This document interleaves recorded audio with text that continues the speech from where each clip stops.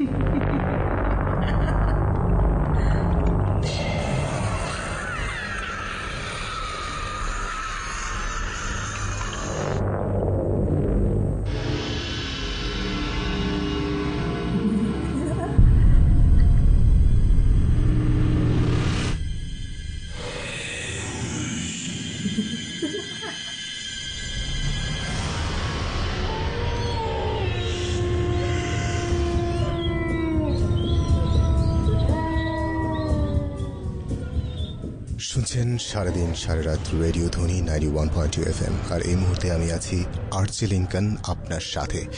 আর শুরু হয়ে গেল বৃহস্পতিবারের স্পেশাল সেগমেন্ট ভয়। এই মুহূর্তে যে যেখানে, যেভাবে শুনছেন রেডিও ধ্বনি একানব্বই দশমিক দুই এফ এম তাদের সবাইকে স্বাগত জানাচ্ছি ভয়ের জগতে। আমরা বরাবরের মতোই আজকেও কিছু ভয়ের ঘটনা শুনব আমাদের আমন্ত্রিত অতিথিরা যারা এই মুহূর্তে আমাদের স্টুডিওতে বসে আছেন, তাদের কাছ থেকে এবং তাদের পরিচয় জানব, তাদের কাছ থেকে শুনব তাদের ঘটনাগুলো। এবং এই ঘটনাতে প্রবেশের পূর্বে বা তাদের সাথে পরিচিত হবার পূর্বে কি করে আমাদের সাথে জয়েন করতে হবে সেটা জানিয়ে দিতে চাইছি। আপনারা সবসময়ের মতন আমাদেরকে এস এম এস করতে পারেন, তার জন্য আপনার মোবাইলের রাইট মেসেজ অপশনে গিয়ে টাইপ করতে হবে R D that means radio Dhwani space আপনার নাম স্পেস লোকেশন দেন স্পেস দিয়ে আপনার কথা, আপনার মতামত দেখে পাঠিয়ে দেবেন সাত এক সাত এক এই নাম্বারটিতে। যারা সবসময়ের মতো আমাদের সাথে ফেসবুকে থাকেন ফেসবুকে কমেন্টস করেন, তাদের জন্য বলছি W W W dot Facebook dot com slash radio Dhwani ninety one point two F M এটা হচ্ছে আমাদের একমাত্র অফিসিয়াল ফ্যান পেজ অ্যান্ড এখানে গেলে আপনি একটি পোস্ট পাবেন। পোস্টটি এখনও দেয়া হয়নি জাস্ট কিছুক্ষণের মধ্যে আমরা দিয়ে দেব। এবং সেই পোস্টটিতে লাইক দিয়ে কমেন্ট অপশনে আপনার মতামত আপনি দেবেন, এবং অবশ্যই পোস্টটি শেয়ার করবেন। যারা পোস্ট শেয়ার করবেন, তাদের কথা অবশ্যই বলে দেব, এবং পোস্ট শেয়ার করলে আপনার বন্ধুরাও রেডিও ধ্বনির এই প্রোগ্রাম অর্থাৎ ভয়ের সাথে থাকতে পারবেন। আমরা আর কথা বাড়াবো না। আমরা এই পর্যায়ে চলে যাব। আমাদের অতিথি যারা আছেন, তাদের সাথে পরিচিত হব। আমাদের সাথে আজকে জয়েন করেছেন তিনজন অতিথি। আমরা একে একে তিনজনের জীবনের বাস্তব, সত্য, ভয়ের ঘটনাগুলো শুনব। এই রাত্রি যখন এগারোটা বেজে পাঁচ মিনিট, এই মুহূর্তটায় অবশ্যই আপনাদের ভালো লাগবে। এবং আমাদের সাথে আজকে জয়েন করেছেন জিসান মির্জা। তিনি পেশা একজন ফটোগ্রাফার এবং মিরপুর এক থেকে তিনি আমাদের সাথে জয়েন করেছেন। তারপর আছেন আমাদের সাথে মওদুদ বিন আবদুল্লাহ মারুফ। তিনি শেখের টেক থেকে আমাদের সাথে জয়েন করেছেন। আমাদের সাথে আরও আছেন ফাহিম হাসান আবির। তিনি রায়ের বাজার থেকে আমাদের সাথে জয়েন করেছেন। তিনি একজন গ্রাফিক্স ডিজাইনার। সো, আজকে আমরা তাদের ঘটনাগুলো শুনব। আমি প্রথমে মাইক্রোফোনে আমন্ত্রণ জানাচ্ছি জিসান মির্জা আপনাকে। কেমন আছেন?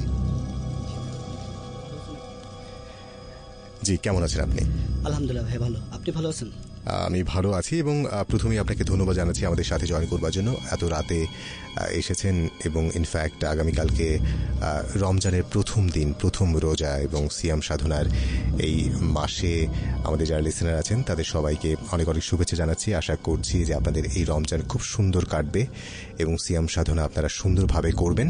সেই প্রত্যাশা তো অবশ্যই রইল। জিসান মির্জা, আপনার ঘটনাতে আমরা প্রবেশ করব। আপনি পেশা একজন ফটোগ্রাফার সো ফটোগ্রাফিতে কি করে এলেন সেটা একটু জেনে তারপরে আমরা ঘটনাতে প্রবেশ করব। কি করে ফটোগ্রাফার হলেন? ফটোগ্রাফারটা আসলে এখনও প্রফেশনালি খুব বেশি যে নিছি তা না। মানে হচ্ছে কি আমি চেষ্টা করতেছি ছবি তোলার লাস্ট কয়েক বছর ধরে চেষ্টা করতেছি।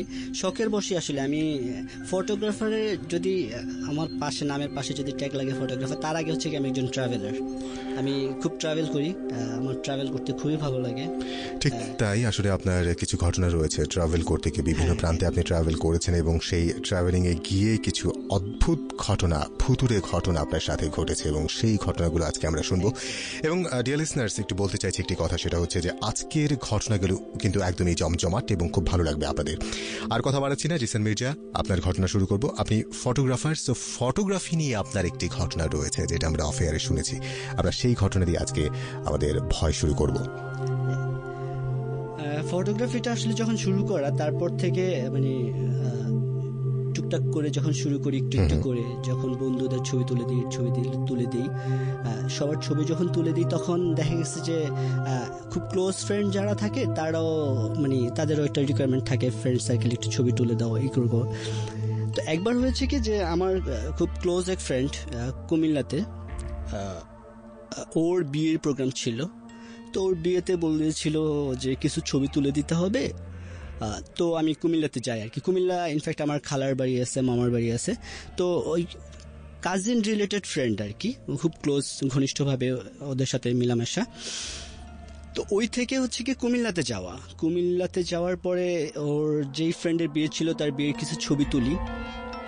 দেন ওইখানে কিছু গেস্ট থাকে ফ্রেন্ডের কিছু ফ্রেন্ড থাকে, তাদেরও কিছু ছবি তোলা হয়।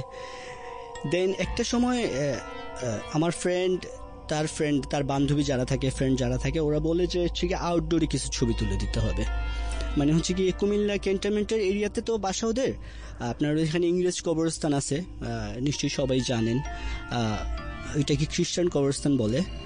রানী কুঠির আছে। তো আমি আমার বান্ধবী সহ আমার আরও ফ্রেন্ড আমার বান্ধবীর বান্ধবী যারা ছিল, আরও ফ্রেন্ড সার্কেল যারা ছিল, ওদেরকে নিয়ে হচ্ছে কি ইংলিশ কবরস্থানে ছবি তুলতে চাই। তো সেইখানে বেশ কিছু ছবি টবি তোলার পরে বিকেল টাইমটা যাই। ছবি তোলার জন্য যেহেতু বিকেল টাইমটা অনেক পারফেক্ট একটা টাইম সেখান থেকে ছবি তুলে শেষ করতে করতে মানে সানলাইট প্রায় চলে যায়। তো তারপরে আমরা দেখে গেছি যে কিছু ছবি নেওয়ার জন্য কিংবা হচ্ছে কিছু সময় পাঠ- পাস করার জন্য আমরা রানীকুঠিরে যাই। সেটা রানীকুঠিরটা হচ্ছে গিয়ে ইংরেজ কবরস্থান থেকে আহ, সাহেব বাজার হয়ে তারপর যেতে হয়। ইংরেজ কবরস্থান থেকে একটু দশ থেকে পনেরো মিনিটের দূরত্ব আর কি এতটুকু দূরত্ব। তো আমরা ওইখানে যেতে যেতে দেখা গেছে যে সন্ধ্যা আজান আজান হয়ে গেছে সন্ধ্যাও হয়ে গেছে মোটামুটি অন্ধকার হয়ে গেছে চারপাশ। আমরা যখন রানীকুঠিরে নামি ওইখানে অটো পাওয়া যায়। অটোতে করে আমরা যখন রানীকুঠিরে যাই রানীকুঠিরে যখন নামার পরে যখন যাচ্ছিলাম আমরা আহ, রানীকুঠিরের ভিতরে যখন ঢুকতেছি অনেকটা পথ যাওয়ার পরে একটা পাগলি আর কি পাগলি আমরা দেখতেছিলাম। তখন এতটা মোটামুটি দেখা যাচ্ছিল মানুষের অবয়ব বোঝা যাচ্ছিল। অনেকেই চলে আসতেছিল তখন ওইখান থেকে। আর আমরা মাত্র সেখানে ইন করছিলাম। তো একটা পাগলি আমার বান্ধবীর দিকে তাকিয়ে খিলখিল করে হাসতেছিল, একদম উচ্চ স্বরে, এবং আঙ্গুল দিয়ে দেখিয়ে দেখিয়ে হাসতেছিল। কেন হাসতেছিল? আসলে সেই কারণটা আমাদের কারোই জানা নাই। তো আমরা এটা র্যান্ডমলি নিছি, মজা করে নিছি ফ্রেন্ডরা সবাই মিলে ছিলাম। দেন আমার এক আমার বান্ধবীর বান্ধবী যে ছিল, সেও ওই পাগলির সাথে দুষ্টামি করা শুরু করে দিছে, মজা করে শুরু করে দিছে, সেও হাসাহাসি শুরু করে দিছে। মানে এক ধরনের ভ্যাঙ্গানো বলে না? ওই টাইপের আর কি। আমরা মানে ও ফিঙ্গার পয়েন্ট করে ভ্যাঙ্গানো শুরু করে দিছিল আর কি। তারপর? তারপরে আমরা রানীকুটির মোটামুটি ওইখানে রানীকুটির পুরানো কিছু বাড়ি আছে। বাড়ি দালান আছে ভাঙাচূড়া অনেক অনেক অনেক বছরের ঐতিহ্যগুলো। তো ওইখানে আবার একটা হিন্দু হিন্দুদের একটা ইয়ে আছে আপনার মন্দির আছে। সেখানে অনেকে পুজো করে। বট গাছ আছে অনেকগুলো, চারপাশে বড় বড়, বিশাল বড় বড় বট গাছ। তো আমরা সেখানে বসে আড্ডা দিচ্ছিলাম, বেশ কিছুক্ষণ ধরে আড্ডা দিচ্ছিলাম গল্প করতেছিলাম, ছবি তুলতেছিলাম।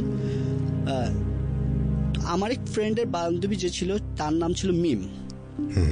তো মিমের ছবি আমি তুলে দিচ্ছিলাম। মিম একটা বট গাছে, বড় একটা বট গাছের মানে শিকড়ে বসছিল। শিকড়ে বসে পোজ দিচ্ছিল, আমার দিকে তাকাচ্ছিল, আমি ছবি নিচ্ছিলাম র্যান্ডমলি ছবি নিচ্ছিলাম। তো যেই কয়টা ছবি নিচ্ছিলাম মানে যতটা ক্লিক করতেছিলাম, প্রথম প্রথম আমি বুঝতে পারি নাই। ক্লিক করার পরে দেখতেছে কি মানে স্ক্রিন আমার ক্যামেরার স্ক্রিনে দেখতেছে যে, ওর আই বল একদম হোয়াইট আসতেছে। একদম দুইটা আই বয়লই একদম হোয়াইট আসতেছে। প্রথমে ভাবছিলাম যে এটা হয়তো বা রেডিশ কিছু আসতেছে বা কোনো সমস্যা, অন্য অ্যাঙ্গেল থেকে ছবি নেই, তাইলে ঠিক হয়ে যাবে। দেন অন্য অ্যাঙ্গেল থেকেও ছবি নিচ্ছি, দেখি যে একই অবস্থা। তারপরে ভাবলাম যে হয়তো বা না, আমার ক্যামেরার সেটিংস বা অন্য কোনো প্রবলেম হইতে পারে। দেন সেটিং চেঞ্জ করে আমি নিজে নিজে দেখতেছি আর ক্লিক করার পরে দেখতেছি যে ছবি সব ঠিক আছে বাট আইবলগুলো একদম হোয়াইট দুইটা আইবল একদম মানে জল জল করতেছি একটু, এরকম একটা অবস্থা। তারপরে ভাবলাম যে না, আসলে কোনো একটা প্রবলেম হচ্ছে। আমার ওই মিমকে রেখে আমি অন্য ফ্রেন্ডদের ছবি তোলা শুরু করলাম। বাট অন্য ফ্রেন্ডদের যখন ছবি তুলতেছি ক্লিক করতেছি সেইটা কিন্তু একদম ক্লিয়ার আসতেছে। মানে একজনের ছবির মধ্যে আসলে হ্যাঁ প্রবলেম হচ্ছে এক্স্যাক্টলি একজনের ছবির মধ্যে প্রবলেম করতেছে হ্যাঁ। আর ওই একজনটা হচ্ছে যে ওই যে পাগলি পাগলি যখন জোরে জোরে হাসতেছিল হ্যাঁ ও ওইটাকে হচ্ছে কি একটু ব্যঙ্গ করছে সেও লাউডলি হাসছে। হ্যাঁ এই কারণে হইতে পারে। তো আমরা ওইটা ওই ওই জিনিসটা তখন আমরা ওইভাবে চিন্তাই করি নাই হ্যাঁ। তখন আমি চিন্তা করছি কেন এমন হইতেছে? বা মানে কি সমস্যাটা? আমি সেটা ফাইন্ড আউট করার চেষ্টা করতেছিলাম ক্যামেরাতে বারবার। এবং পার্সন টু পার্সন চেঞ্জ করেও ছবি তুলতেছি বাট একই অবস্থা। আইবল রেডি একদম হোয়াইট আসতেছে। যখন এই অবস্থা দেখলাম, যত ছবি তুলি আইবল আস্তে আস্তে এত বেশি হোয়াইট হইতেছে এবং হচ্ছে কি, একটা বিদঘুটে অবস্থা। ছবি। তখন আমরা ভাবলাম যে মাথায় সবাই আস মাথায় আসছে যে এই অবস্থা তাইলে আমাদের মনে এখান থেকে যাওয়া উচিত। আর আশেপাশে মানুষও ছিল না একদম নিরিবিলি জায়গা ছিল। আচ্ছা। দেন আমরা ওইখান থেকে তাড়াতাড়ি মুভ করি। মুভ করে চলে আসতেছি। দুই মিনিট তিন মিনিট হাঁটার পরে বটগাছটা পের- হয়ে দুই মিনিট তিন মিনিট হাঁটার পরেই আহ, কোত্থেকে যেন একটা লাইট ফ্ল্যাশ লাইট আমাদের ফেসে এসে পড়ছে। আচ্ছা। একদম ফেস লাইটার অপোজিটে কে আছে অপোজিশনে কে আছে সেটা আমরা বুঝতে পারতেছি না। তবে সে আমাদের বলতেছে যে এখানে তোমরা কি করো? এটা কি কোনো পুরুষের কণ্ঠস্বর ছিল নাকি? পুরুষের কণ্ঠস্বর। আচ্ছা। যে এইখানে তোমরা কি করো? তোমরা জানো না এই জায়গাটা খারাপ সন্ধ্যার পরে এখানে কেউ থাকে না? হুম হুম। এভাবে বলতেছিল। তো আমরা বলতেছিলাম হ্যাঁ আমরা চলে যাচ্ছি। চলে যাওয়ার জন্যই মানে আমরা রওনা হয়েছি। তখন উনি বলল যে, সোজা চলে যাও। এ কথা বলে লাইটটা যখন অফ করল মানে সামনে তো কেউ না কেউ থাকবে। বাট কোনো পার্সন নেই, কোনো হিউম্যান বডি নেই সামনে। কোনো হিউম্যান বডি বা যে মানুষটি কথা বলেছেন স্বাভাবিকভাবে মানে লজিক্যালি একজন মানুষের সেখানে থাকার কথা হ্যাঁ, সেই মানুষটিকে আপনারা কেউ দেখতে পান না আমরা কেউই দেখতে পাই শুধু আলোটাকে আপনারা দেখতে শুধু পেয়েছেন। আলোটা লাইটের আলোটা ফ্ল্যাশ আলোটা। তারপরে কি হলো? মানে এই এই ঘটনার পরে আসলে আসলে তখন এমন একটা অবস্থা যে এই ঘটনা মানে এতক্ষণ ধরে আমরা ক্যামেরাতে ছবি আসতেছে লাইট মানে চোখ আইবলগুলো হোয়াইট আসতেছে। মানে এইটাতে আমরা এতটা নার্ভাস হই নাই এতটা ঘাবড়ে যাই নাই এতটা সিরিয়াসলিও নেই নাই। যেহেতু আমরা চার পাঁচজন ছিলাম একটা সার্কেল ছিল এতটা সিরিয়াসলি নেই নেই। কিন্তু এই ঘটনার পরে যখন আলো আসলো, কথা বলল, আমাদেরকে অ্যালার্ট করল যে এখানে কেন আসছো, এখানে চলে যাও। দেন আমাদের ভিতরে আসলে সিরিয়াস ভয়টা কাজ করা শুরু করছে। এক একজন, আর মেয়ে মানুষরা তো এমনি একটু নার্ভাস হয়ে যায় মানে হচ্ছে কি এইসব ব্যাপারে আরও বেশি। আর এমনিতে ভুতুরের বিষয়গুলোতে আমারও একটু অ্যালার্জি আছে। তখন আমিও ব্যাপারটা আসলে অনেক বেশি ফিল করি, অনেক বেশি নার্ভাস হয়ে যাই। তারপরও নিজেদেরকে কন্ট্রোল করে আমরা সামনে দিকে এগিয়ে চলতে শুরু করলাম। বের হয়ে যাব রানীকুটির থেকে। সামনে যেতে যেতে যেতে যেতে যখন আমরা পার হয়ে গেট থেকে রানীকুঠির যে গেট মেন গেট যেটা, ওই গেট গেট দিয়ে যখন বের হব, সেই পাগলিটা যে মানে ঢোকার সময়, সন্ধ্যার সময়, ঢোকার সময় যে হাসছিল অর্থ হাসি দিছিল, সেই পাগলিটা সেইখানে দাঁড়িয়ে আছে। এবং সে আমাদের দিকে দেখে আবারও সে অর্থ হাসি হাসা শুরু করছে। দেন আমরা এবার পাগলিটাকে অনেক বেশি সিরিয়াস নিয়ে ফেলি এবং কীভাবে এখান থেকে দ্রুত যেতে পারব, কীভাবে মানে ওইখান থেকে দ্রুত পালানো যায়। মানে সবার চিন্তা ছিল পারলে দৌড় দিয়ে যায়, যে যার যান বাঁচানোর জন্য যেভাবে পারে। কিন্তু মানে ওইভাবে দৌড়ানো, দৌড়িয়ে যাওয়া হয়নি বাট সবাই চেষ্টা করছিলাম সবাই ওইখান থেকে দ্রুত চলে যাওয়ার জন্য। দেন আমরা যখন আরও সামনে যাই, একটু পাগলিটাকে ক্রস করে পাঁচ সাত ফিট সামনে যাই, সামনে যাওয়ার পরে মিম আর যেতে চাচ্ছে না। যে যার চোখ আইবল সাদা আসছিল যে পাগলাটাকে দেখে অর্থ হাসি দিছিল সে আর বের হতে চাচ্ছে না। মানে সবচেয়ে বেশি আসলে ভয় সে পেয়েছে সবচেয়ে বেশি এফেক্টেড তার কারণ হচ্ছে তার ছবিগুলো কিন্তু আসলে সমস্যাগ্রস্ত ছিল। তার চোখটা ছবির মধ্যে তার যে চোখের আই বল আছে সেটা সাদা আসছিল প্রত্যেকটা ক্লিকে প্রত্যেকটা প্রত্যেকটা ছবিতে। এবং স্বাভাবিকভাবে সে বেশি ভয়াক্রান্ত। হ্যাঁ এটা হইতে পারে। এটা এটা এমনটাই আমরা হয়তো ধারণা করছিলাম তো আমরা যখন মানে মিম কোনোভাবে যাবে না। ওকে আমরা মানে এত বুঝাইতেছি, টেনে নিয়ে যাচ্ছি, ও যাবে না। ও লিটারালি বসে পড়তেছে জায়গার মধ্যে। ও আবার রানীকুঠির ভিতরে যাবে বট গাছের নিচে যে বসবে। এবং একটা সময় ছিল ওরে আমরা টানা হেসটা শুরু করে দিই যখন, যে চলো এই, এরকম যখন সিচুয়েশন তখন সে মানে আবল তাবল বলা শুরু করে দেয়। যেমন আমি এখান থেকে যাব না আমি এখানেই থাকব এখানে আমার জন্ম এখানে আমার সব কিছু এই টাইপের বহুত কিছু বলা শুরু করে। এবং ইভেন এটাও বলে যে ওই যে বট গাছ আছে, সেই বট গাছে তার স্বামী আছে।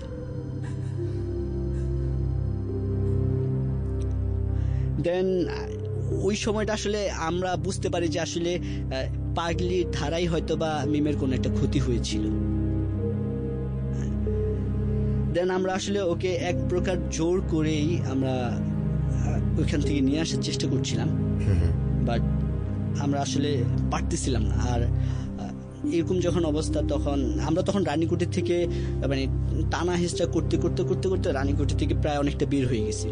তখন হচ্ছে আমার যে বান্ধবী যার বিয়েতে ছবি তুলেছি যার যাকে ঘিরে মানে যার কাছে গিয়েছিলাম ছবি তোলার জন্য যে ইনভাইট করেছিল। তো ওর এক রিলেটিভ মানে মাওলানা একজন হুজুর সে আবার পাশ দিয়ে যাচ্ছিলেন, ওর পরিচিত আর কি। তো সে যখন ডাকে মানে আমাদের এই অবস্থা দেখে সে আগে আসে আর কি। তো তিনি অনেক দোয়া দূরত পড়ে দিলেন।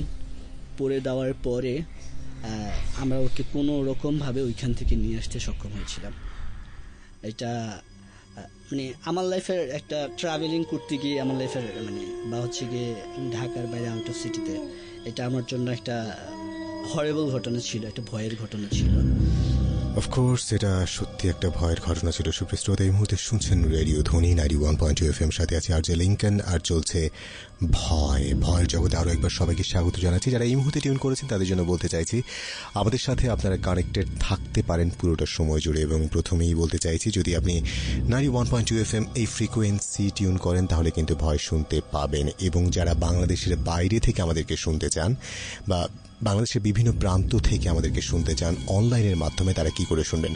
আমাদের ওয়েবসাইট ভিজিট করলে আপনি সেখানে আমাদেরকে একদম টোয়েন্টি ফোর আওয়ার্স লাইভ শুনতে পারেন।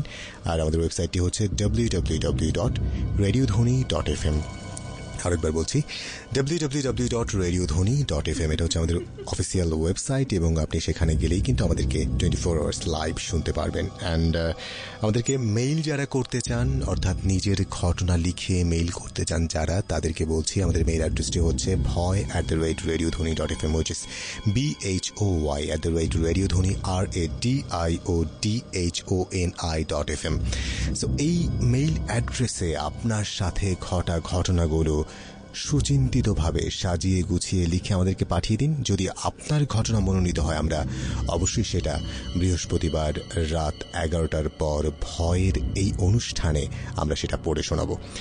আর যারা অতিথি হয়ে আসতে চান, অর্থাৎ গেস্ট হয়ে লাইভ নিজের ঘটনা আমাদের লিসনারদের সাথে শেয়ার করতে চান, তাদের জন্য বলতে চাই এস এম এস করতে হবে।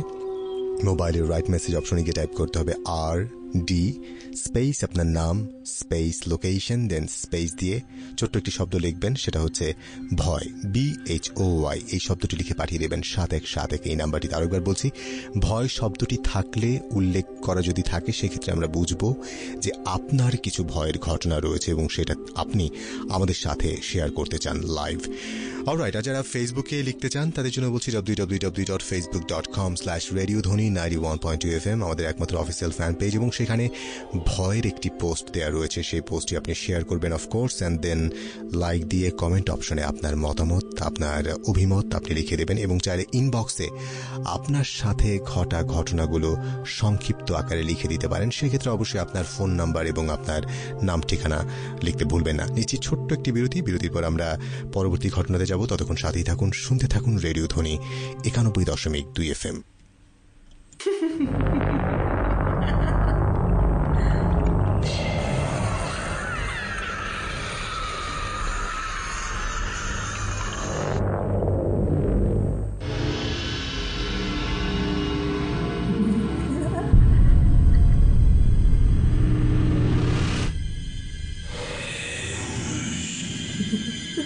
Yes, exactly. All day, all night, you're listening to Radio Dhoni 91.2 FM সাথে আছে এই মুহূর্তে আর জে লিঙ্কন আর চলছে ভয় ভয়ের জগতে।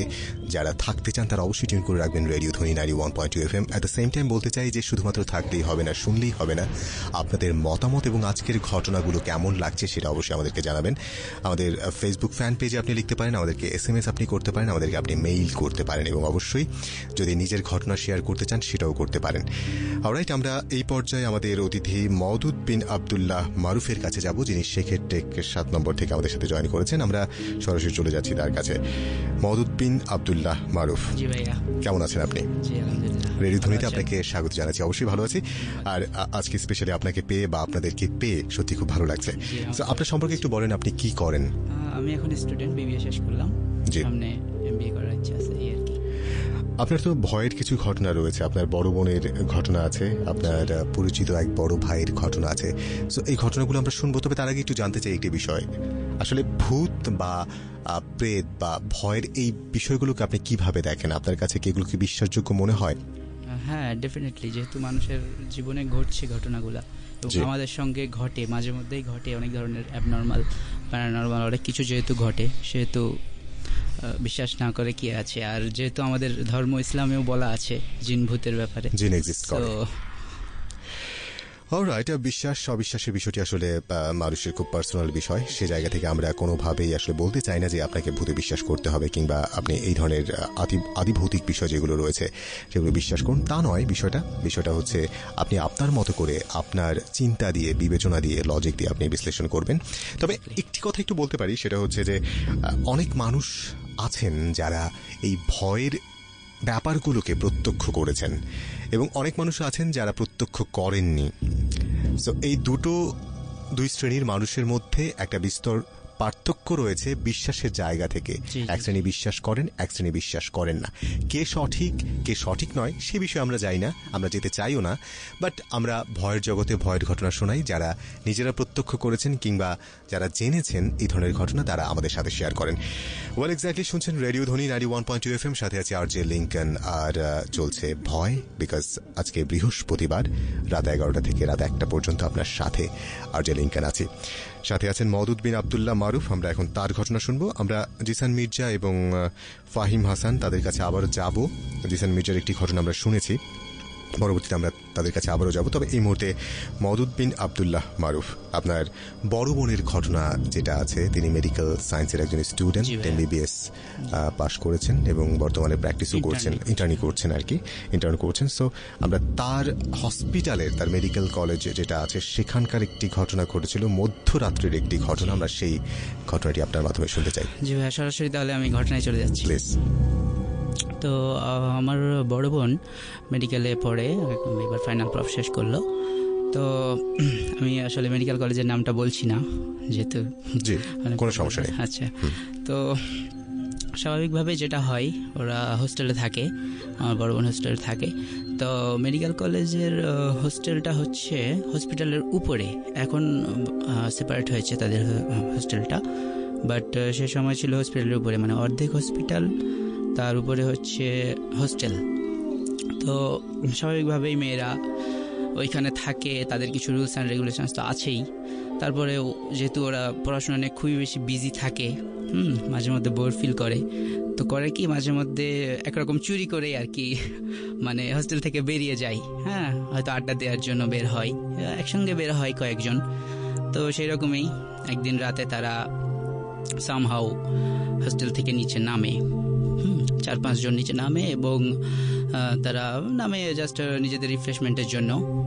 তারপর নিচে নেমে ক্যান্টিনে খাওয়া দাওয়া করে, চা খায়, একটু গল্প গল্প করে, আড্ডা দেয়। তো এক পর্যায়ে তারা একটা জিনিস নোটিস করে, যেটার জন্য তারা আসলে প্রস্তুত ছিল না। হঠাৎ করেই দেখে একটা ছেলে, অল্প বয়স্ক, যে মানে যাকে দেখে টোটালি অ্যাবনর্মাল মনে হচ্ছিল। সে মানে তার হাঁটা চলাফেরা তার শারীরিক গঠন তার বলতে পারেন হচ্ছে চুল চোখ ইচ অ্যান্ড এভরিথিং। একদমই নর্মাল ছিল না তার কথাবার্তা। যাই হোক সে যদিও চুপচাপ ছিল তখন পর্যন্ত। তো তার হাতে ছিল একটা বস্তা।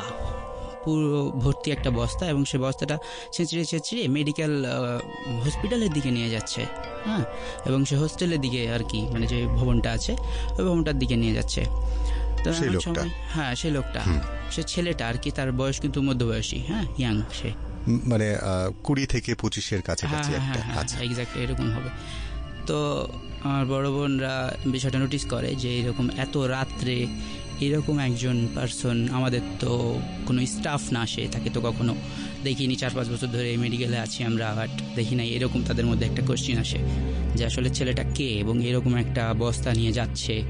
আর সাথে সাথে তারা আরও একটা জিনিস নোটিস করল, সেটা হচ্ছে বাজে একটা স্মেল হ্যাঁ বাজে একটা স্মেল আসতেছে।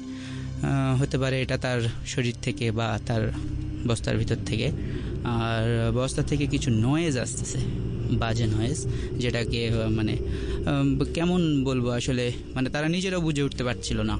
হ্যাঁ এবং তাদের কাছে খুব সন্দেহজনক মনে হয় বিষয়টা। তো তারা এক পর্যায়ে করে কি, ছেলেটাকে ফলো করা শুরু করে। তো ফলো করা শুরু করে যখন, তখন ছেলেটা, ছেলেটার জাস্ট সামনের দিকে তাকিয়ে হাঁটতেছে। সে কোনো দিকে তাকাচ্ছেও না। সে কোনো কিছু খেয়ালও করছে না। সে জাস্ট ডান কেয়ার একটা ভাব। হ্যাঁ কাউকে কেয়ার করতেছে না। এবং এক পর্যায়ে গিয়ে আমার বোন এবং তার বান্ধবীরা জিজ্ঞেস করে যে, এই যে ভাই, আপনি কে? এগুলো কি? এবং আপনি লিফটের দিকে যাচ্ছেন কেন? মানে সে লিফটের দিকে যাচ্ছিল হাঁটতে হাঁটতে। তো সে কোনো কথা বলছে না। সে কোনো কথা বলছে না, শুধু তাকাচ্ছে, শুধু একটা বাজে একটা লুক দিচ্ছে সে সে কোনো কথা বলছে না। তো এক পর্যায়ে হলো কি লিফট খুলে সে লিফটে উঠে গেল এবং আমার বোন এবং আমার বান্ধবীরা সেই লিফটে ওরা সাহস পেল না এবং সাথে সাথে তারা ডিসাইড করল যে তাকে আমরা ফলো করব আরেকটু, যে তারা, সে আসলে কোন ফ্লোরে যেতে চাচ্ছে। হ্যাঁ আর আরেকটা জিনিস বলে রাখা ভালো মেডিকেল কলেজে যারা পড়েন তারা তো জানেনি যদিও আমি মেডিকেল কলেজ মানে মেডিকেল সায়েন্সের স্টুডেন্ট না তো ওদের হচ্ছে লিফট এবং সিঁড়ি এক সাইডে আর হচ্ছে মানে কি বলব ওটি থেকে শুরু করে আদার্স সব কিছু আরেক সাইডে সেটা কেচি কেচিকেট দিয়ে সবসময় সেপারেট করা থাকে। তো এত রাতে আসলে কে যাচ্ছে? পাঁচতলা পর্যন্ত যেহেতু হসপিটাল সে হসপিটাল কোন ফ্লোরেই বা যাবে? আর এরকম একটা বাজে বস্তা, নোংরা সোংরা সে একটা নোংরা ছেলে এইভাবে মানে অপরিষ্কার এবং সে হস্টেলের কোনো কর্মচারী না হসপিটালের কোনো ডোমও না। তো সে আসলে কোথায় যাচ্ছে? এটা সবার প্রশ্ন জাগলো। এই জন্যই তাকে ফলো করা আর কি। হুম? তো তার পিছনে তো তারা ডিসাইড করল যে আমরা খুব দ্রুত হচ্ছে সিঁড়ি বেয়ে বেয়ে উপরে উঠবো এবং প্রত্যেকটা ফ্লোরে ফ্লোরে দেখব যে আসলে সে কোন ফ্লোরে নামছে। হ্যাঁ? এটা এক্স্যাক্ট এটা দেখার জন্য তারা কি করল? মানে জোরে জোরে দৌড় দিয়ে তারা হচ্ছে দোতলায় গেল। দেখে যে লিফট দোতলা থেকেও তিনতলা চলে যাচ্ছে। হুম? এবং তারা আরও উপরে গেল, তিনতলায় গেল, দেখে সেখানেও সেম লিফট খুলছে না লিফট চারতলায় চলে যাচ্ছে। এবং লাস্ট ফ্লোরে যে ফিফথ ফ্লোরে গিয়ে লিফটটা খুলল। এবং তারা যে জিনিসটা আসলে এক্সপেক্ট করেনি যেটা হলো, সেটা হচ্ছে লিফট খুললো ঠিকই বাট ভেতরে কেউ নাই। জাস্ট লিফটটা খুললো এবং ভিতরে কেউ নাই। লিফটটা। খুললো কিন্তু লিফটের ভেতরে কোনো মানুষ কোনো মানুষ নাই। কিন্তু একবারের জন্য লিফটটা কোনো জায়গায় থামেনি। এবং তারা চার পাঁচজন ছিল সবাই বিষয়টা অবজার্ভ করছে। এবং কেউ কেউ দুই তলায় থেকে গেছে কেউ তিন তলায় থেকে গেছে। এবং তাদের কাছে খুবই বিষয়টা মানে ভয়ের ছিল সেই সময় কারণ তখন রাত ছিল প্রায় একটা দেড়টা এরকম টাইমে এবং তারা হোস্টেলে ফিরে যাই বাট এই এই ঘটনাটা আসলে অ্যান্সার তারা এখন পর্যন্ত খুঁজে পায়নি। এরকম আরও অনেক ঘটনা তাদের সঙ্গে ঘটে। তো তারপর থেকে তারা তাদের মধ্যে দু একজন মানে একটু অ্যাবনর্মাল হয়ে যায় সেদিন রাত্রে। হ্যাঁ এই ঘটনাটা দেখে তারা নিজেকে ঠিক রাখতে পারেনি। আমার বোন যদিও পার্সোনালি একটু সাহসী। খুব স্বাভাবিকভাবেই। হ্যাঁ ও খুব বেশি ভয় না পেলেও মানে ওর বান্ধবীরা একটু আপসেট ছিল আর কি বিষয়টা নিয়ে। এবং তারপর থেকে তারা আর কি ওইভাবে হোস্টেল থেকে বের হতো না এবং এটা ছিল তাদের ঘটনা। অনেক ধন্যবাদ আপনাকে মদুদ বিন আবদুল্লাহ মারুফ। মারুফ ভাই আপনার ঘটনাটি সত্যি খুব স্কেরি একটি ঘটনা এবং আমি আশা করব যে এই ধরনের ঘটনা এই যাদের জীবনে ঘটেছে আর যাতে না ঘটে। অলরাইট সুপ্রিয় শ্রোতা, শুনছেন রেডিও ধ্বনি নারী ওয়ান পয়েন্ট এফ এম সাথে আছে আর জে লিঙ্কন। আর ঘড়িতে সময় এখন এগারোটা বেজে চৌত্রিশ মিনিট। অনেকটা সময় কিন্তু এখনও আছে আপনার সাথে। আর তাই একটু জানতে চাইছি যে আজকের ঘটনাগুলো আপনাদের কেমন লাগছে? একটু জানাবেন আমাকে। লিখবেন, আমাদেরকে এস এম এস করতে পারেন বা ফেসবুকে লিখতে পারেন মেইলও করতে পারেন। যারা ফেসবুকে লিখতে চান, তাদেরকে বলছি W W W dot Facebook dot com slash radio Dhwani ninety one point two F M এই ঠিকানায় আপনাকে যেতে হবে এবং সেখানে ভয়ের একটি পোস্ট রয়েছে। সেই পোস্টটিতে লাইক দিয়ে কমেন্ট অপশনে আপনার মতামত, আপনার অভিমত বা আজকের ঘটনা নিয়ে যদি কোনো কিছু বলার থাকে সেটা আপনি লিখে দিতে পারেন। আর যদি আপনার কোনো ঘটনা থাকে সেটা সংক্ষিপ্ত আকারে ইনবক্সে আপনি লিখতে পারেন, সাথে নাম, ঠিকানা অবশ্যই উল্লেখ করবেন। আর যারা এস এম এস করতে চান সবসময়ের মতন, তাদেরকে বলছি, মোবাইলের রাইট মেসেজ অপশনে গিয়ে টাইপ করবেন R D that means radio Dhwani space দিয়ে নাম স্পেস দিয়ে লোকেশন দেন স্পেস দিয়ে আপনার বিএইচ ও ওয়াই এই শব্দটি লিখতে হবে। সো এই শব্দটি না থাকলে আমরা বুঝতে পারব না যে আপনি ঘটনা শেয়ার করতে চাইছেন আমাদের সাথে। সো বিএইচ ও ওয়াই এই ঘটনাটি আপনি লিখবেন, লিখে পাঠিয়ে দেবেন। সো আপনি আপনার ঘটনা শেয়ার করার সুযোগ পাবেন। আর যারা নিজের মতামত জানাতে চাইছেন, মতামত জানাতে পারেন R space name space location space আপনার কথা, পাঠিয়ে দিন সাত এক সাত এক, এই নাম্বারটিতে মেইল করতে হলে যেটা করতে হবে সেটা বলে দিতে চাই ভয় at the rate radio Dhwani dot F M B H O Y at the rate radio Dhwani R A D I O D H O N I dot F M এটা হচ্ছে আমাদের একমাত্র অফিসিয়াল মেইল অ্যাড্রেস আর সেখানে আপনার সাথে ঘটা ঘটনার বিবরণ লিখে দিতে পারেন আপনি। আমরা সেটা যদি প্রচারযোগ্য হয়, তাহলে অবশ্যই পড়ে শোনাবো। অনেকগুলো এস এম এস আছে। কিছু এস এম এস একটু পড়ে আসছি, তারপর আমরা একটা ছোট্ট ব্রেক নেব। ব্রেকের পর আমরা আবার ঘটনাতে প্রবেশ করব। নাহিন ধানমন্ডি থেকে লিখেছে, ভালো লাগছে অ্যান্ড ভয় লাগছে। জোস লাগছে অ্যান্ড তোমার ভয়েস অনেক ভালো। Thank you Nahin. অনেক অনেক ধন্যবাদ। বাপ্পি আছেন আমাদের সাথে, লিখেছেন মা বাবা এবং আমার ছোট ভাই সহ শুনছি জামগড়া থেকে। রাইট গাজীপুর থেকে গাজীপুর মেঘধুবি মিরের বাজার থেকে আমাদের সাথে জয়েন করেছেন রফিক। রফিক আছেন আমাদের সাথে। সাগর আছেন বাগেরহাট থেকে। লিখেছেন আমাদেরকে বাসির ইসলাম পুরাতন ঢাকা থেকে লিখেছেন, আমার পক্ষ থেকে আপনাকে রমজানের শুভেচ্ছা। সাথে আছে লিঙ্কন ভাইয়া, ভালো লাগছে। আচ্ছা অনেক ধন্যবাদ বাসিদ ইসলাম, সাথেই থাকুন। আর আপনাকেও, এবং ইনফ্যাক্ট যারা এই মুহূর্তে রেডিও ধ্বনি শুনছেন, ভয় শুনছেন, সবাইকে যারা আমাদের এই শোয়ের লিসনার তাদের সবাইকে রমজানের অনেক অনেক শুভেচ্ছা। জুবাইয়ের সেগুন বাগিচা থেকে আছেন, লিখেছেন, খুব ভালো লাগছে অ্যান্ড ভয়ও লাগছে। আফ্রিদি হাসনাবাদ থেকে রমজানের শুভেচ্ছা জানিয়েছেন। আপনাকেও রমজানের অনেক অনেক শুভেচ্ছা। রনি আছেন আমাদের সাথে, শাহিন খান নবীনগর থেকে আছেন আছেন গাজীপুর থেকে রফিক, আরও অনেকেই জয়েন করেছেন। সো এস এম এস করতে থাকুন। রীতি এই মুহূর্তে জয়েন করেছেন মিরপুর থেকে। অনেক ধন্যবাদ সবাইকে। সো আমরা একটা ছোট্ট বিরতিতে যাচ্ছি। বিরতির পর ফিরে এসে আরও ঘটনা শুনব আর ততক্ষণ আপনাকে অবশ্যই আমার সাথে থাকতে হবে। শুনতে হবে radio Dhwani ninety one point two F M ঘটনা এখনও কিন্তু বাকি রয়েছে। So stay Yoon to radio Dhwani ninety one point two F M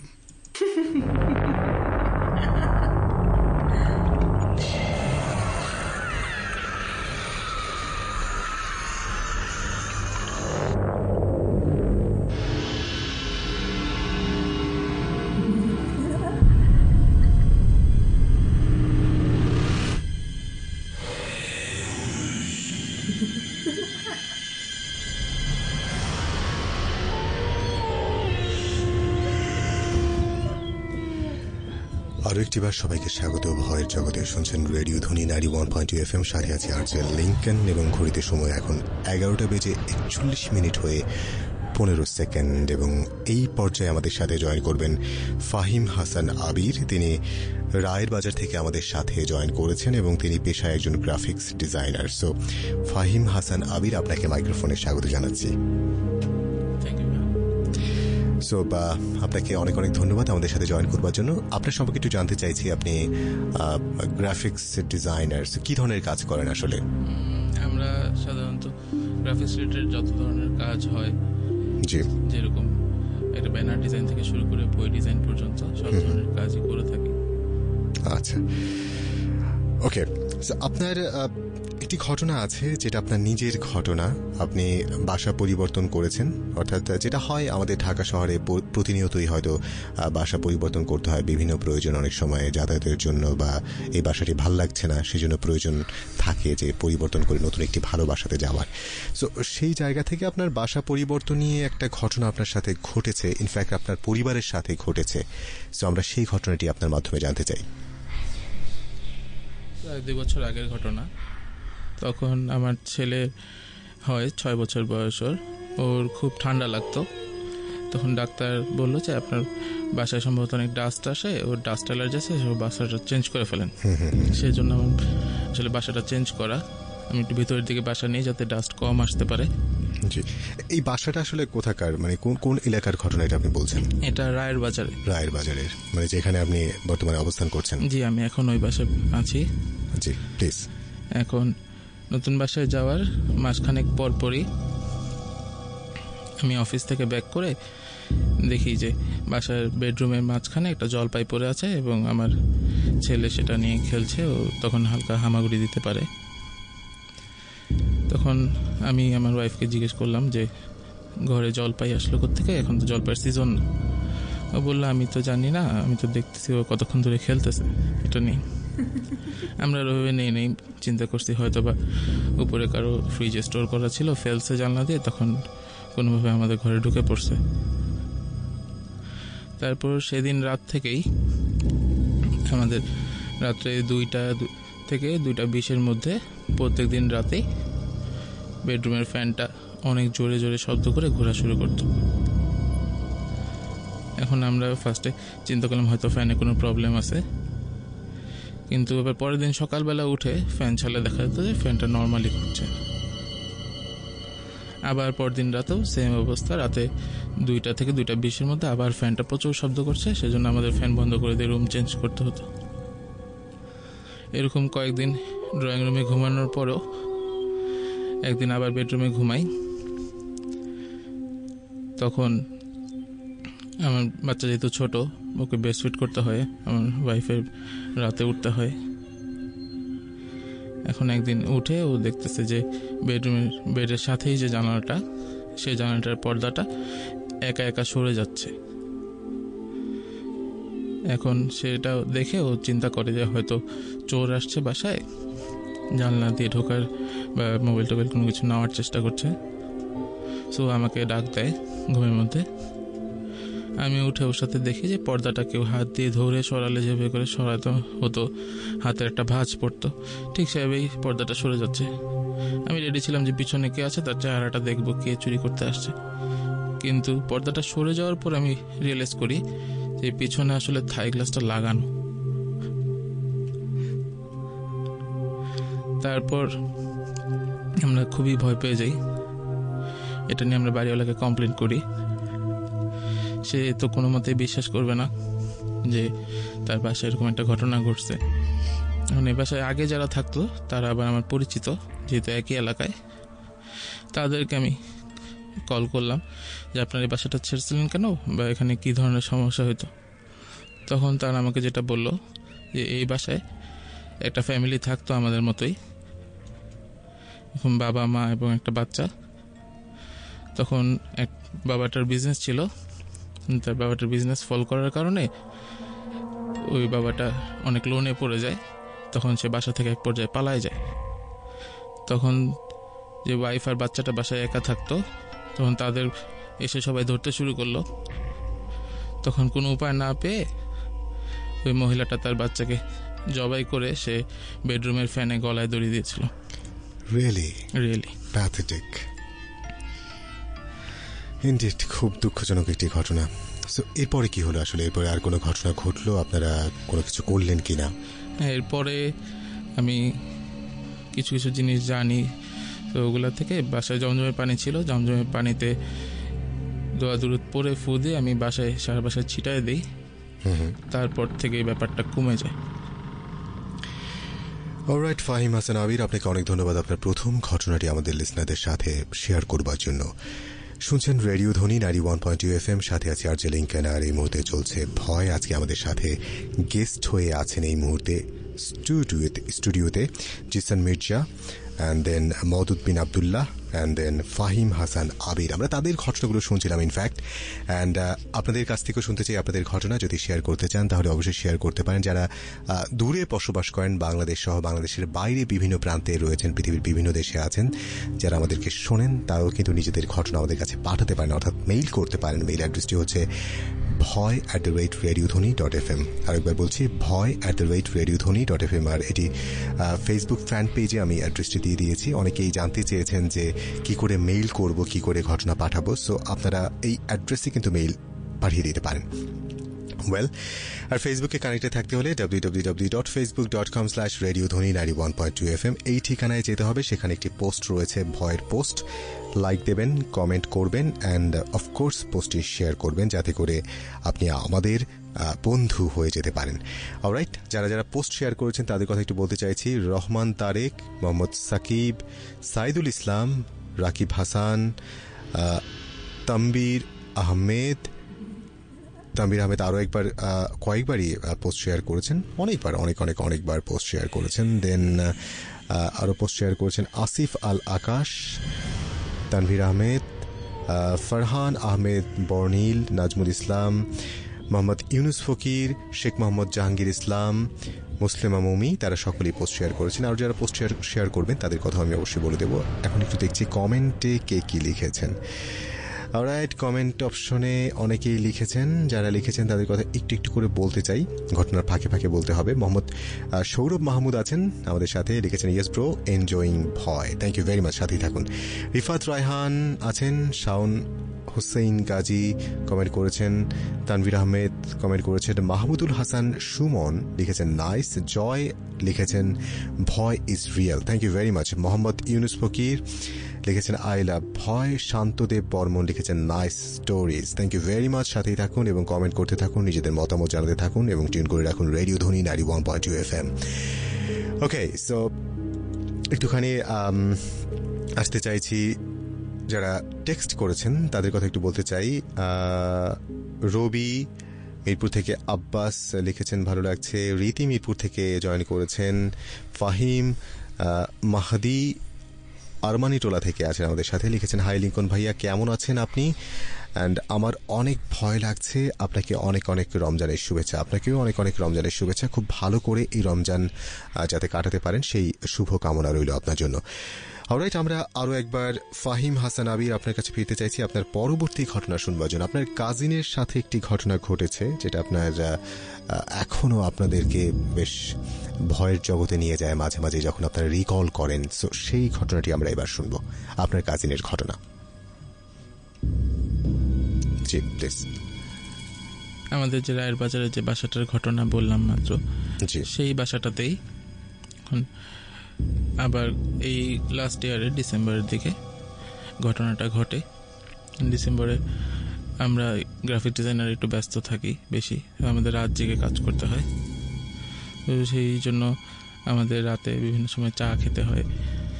এখন আমাদের যেহেতু, আমার যেহেতু বাজারের সাথেই বাসা আমি রাতে দুইটা, তিনটা বাজে চা খেতে যাই। এখন আমার কাজিন একদিন আমার বাসায় আসছে বেড়াতে। তখন ও সবে জিএসসি দিছে। তো সারাদিন ঘোরাঘুরির পর বিকালের দিকে আমরা এরকম চা খাচ্ছি, তখন ওর চা খেতে গিয়ে জিপ পুড়ে যায়। কারণ ও আমাকে বারবার বলছে, ভাইয়া জিপ পুড়ে গেছে। রাতে ভাত খাইতেও ওর এরকম সমস্যা হচ্ছে। তখন রাত তিনটার দিকে যখন আমি আবার চা খেতে বেরোবো, তখন তারপর আমার সাথে আমার ওয়াইফ আমার বাচ্চাও যাবে। ওরা যেহেতু যাক না, সবাই মিলে গল্প করছি, কাজ করছি। তখন সাদিত যে আমার কাজিন সে চিন্তা করল, যেহেতু বিকালে একবার চা খেতে গিয়ে জিপ পুড়ে গেছে সো জিপটা কি এখনও লাল হয়ে আছে কিনা সেটা একটু দেখে আসি। তো সেই জন্য সে বেডরুমে গিয়ে ড্রেসিং টেবিলে জিপ বের করে জিপ দেখতে থাকে। দেখা শেষে ও ফেরত আসছে। এখন আমরা চিন্তা করছি যে ও তো এতক্ষণ চলে আসার কথা, হয়তো বাথরুমে গেছে, ও অনেকক্ষণ পরে ব্যাক করে। তারপর আমরা ওকে জিজ্ঞেস করি যে এতক্ষণ কি করছিল? তখন ও বলল যে, কেন তোমরা কি কোনো শব্দ পাওনি? না, কোনো শব্দ তো পাইনি। পরে বারবার বলছে, আমি এত জোরে পড়ে গেলাম, তোমরা কোনো শব্দ পাওনি? আমরা আসলে কোনো শব্দ শুনতে পাইনি। তারপর আমাদের যেটা বলল যে ও জীব দেখে ফিরে আসছিল। ঠিক তখনই ও পিছন থেকে অনুভব করে যে কোনো একটা হাত ওকে ধাক্কা দেয় খুব জোরে এবং সে ধাক্কায় সে পড়ে যায় বেডরুমের ফ্লোরে এবং অনেকক্ষণ পড়ে থাকার পরে ও অনেক উঠার চেষ্টা করছিল। অনেকক্ষণ পরে উঠতে পারে, উঠে আসে। তারপর আমরা দেখি যে ও যেখানে ধাক্কা দেওয়ার কথা বলে, সেখানে একটা হাতের ছাপের মতো, ওখানে রক্ত জমাট বেঁধে গেছে, লাল হয়ে আছে পুরো। তারপর হাতে পায়ে বিভিন্ন জায়গায় খামচির দাগ। ও উঠার চেষ্টা করছিল উঠতে পারছিল না। ও ডাকারও চেষ্টা করছিল ডাকতে পারছিল না। আমি ওকে বারবার বলছি, তুমি ডাকলা না কেন? ও বলতেছে আমি ডাকার চেষ্টা করছি, কিন্তু আমি ডাকতে পারছি না। তারপর আমরা ওকে ও যাতে ব্যাপারটা ভুলে যায়। সেজন্য আমরা সবাই মিলে বললাম যে, চলো চা খেয়ে আসি, তাহলে আর তোমার এই ভয়টা কেটে যাবে। যথারীতি বাইরে গেলাম, গিয়ে চা খেলাম। চা খেয়ে প্রায় বিশ থেকে পঁচিশ মিনিট পরে আবার বাসায় ব্যাক করি। ব্যাক করে সবাই মিলে ড্রয়িং রুমে বসে ওর এই বিষয়গুলো নিয়ে কী হলো, কীভাবে হলো, এগুলো নিয়ে আলাপ করছি। এখন আলাপ চাই তার এক পর্যায়ে আমার ড্রয়িং রুম থেকে আমার কিচেনটা সরাসরি দেখা যায় ডাইনিং হয়ে তো আমি এবং সাদের দুজনই দেখতে পাই যে কিচেনের ভিতরে, উপরে যেখানে জিনিসপত্র রাখে, সেখান থেকে একটা লোক উল্টা হয়ে ঝুলে আমাদের দিকে তাকিয়ে আছে। ব্যাপারটা দেখে আমরা খুবই ভয় পেয়ে যাই। এবং বারবার আমাদের ওদিকে চোখ যাচ্ছে, আমরা চোখ সরায় রাখতে চেষ্টা করতেছি যাতে ভয় না লাগে। তারপর আমাদের ওইদিকে চোখ যাচ্ছে। খুব কুৎসিত দেখতে একটা লোক কিচেনের উপর থেকে উল্টা হয়ে আমাদের দিকে তাকিয়ে আছে। ভয়টা কাটানোর জন্য আমরা ড্রয়িং রুম থেকে ডাইনিং রুমের যে দরজাটা, সেটা বন্ধ করে দিই। বন্ধ করে দিয়ে আমরা গান শুনতে থাকি এই রুমে ভয়টা কাটানোর জন্য।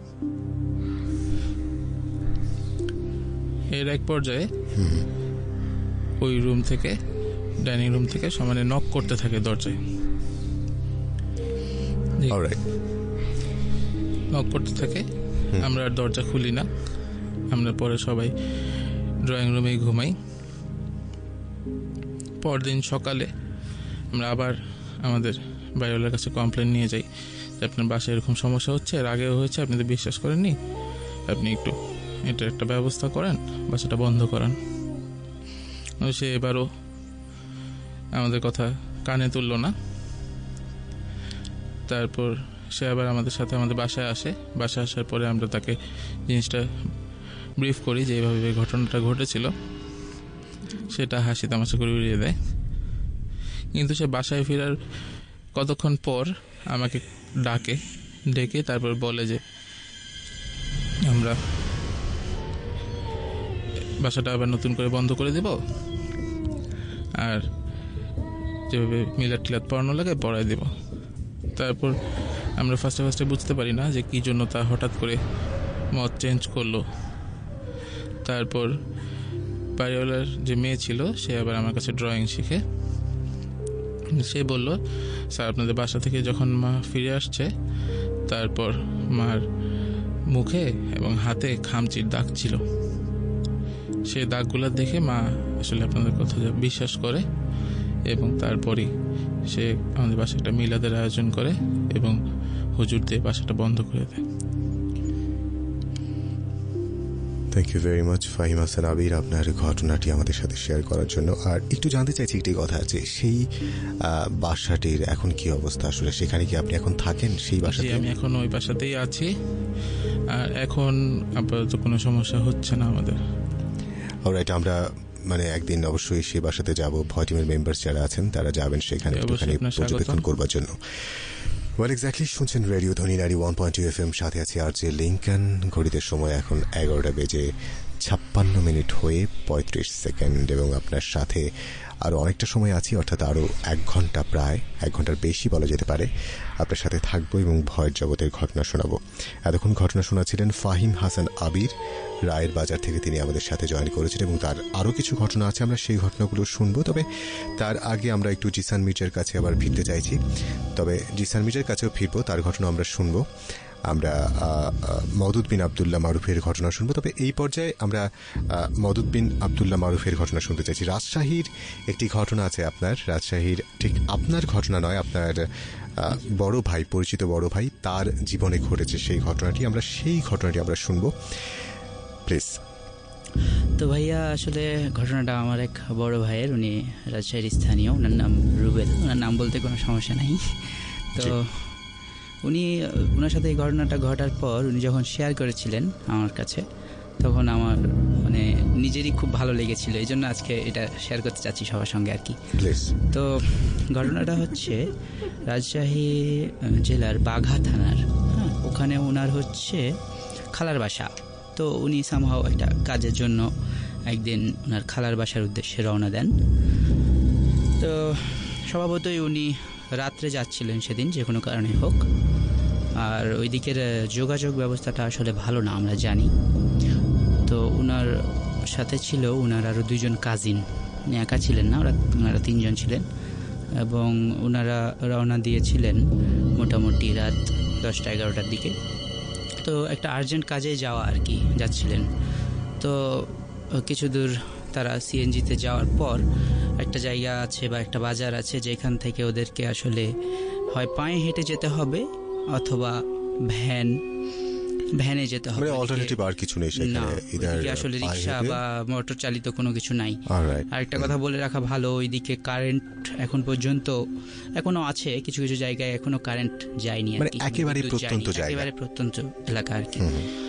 আর সেদিন ওয়েদারটাও খুব একটা ভালো ছিল না মানে ঝড় বৃষ্টির মধ্যে দিয়ে যাচ্ছিল আর কি। তো ওনারা একটা মানে বেকায়দায় পড়ে যায় আর কি, বাজে একটা সিচুয়েশনে পড়ে। কোনো কিছু একে তো পাচ্ছেও না, আবার যাওয়া লাগবে আর্জেন্ট আবার ব্যাক করতেও পারবে না, এমন একটা সিচুয়েশনে পড়েছে তারা। তো তারা করল কি, এক পর্যায়ে হাঁটা শুরু করল, কোনো কিছু না পেয়ে। তো হাঁটতে হাঁটতে কিছু দূর যাওয়ার পর হঠাৎ করেই পিছন থেকে একটা ভ্যান চলে আসে। বাট মজার ব্যাপার হচ্ছে, ভ্যান চালক ওনাদেরকে কিছুই বলছেন না। কিন্তু ওনার এমন একটা অ্যাটিটিউড উনি দেখাচ্ছেন যে মানে আপনারা চাইলে আমার সঙ্গে যেতে পারেন। মানে আমি আপনাদেরকে সার্ভিসটা দেব, এরকম আর কি একটা, ওনার একটা চাহনি।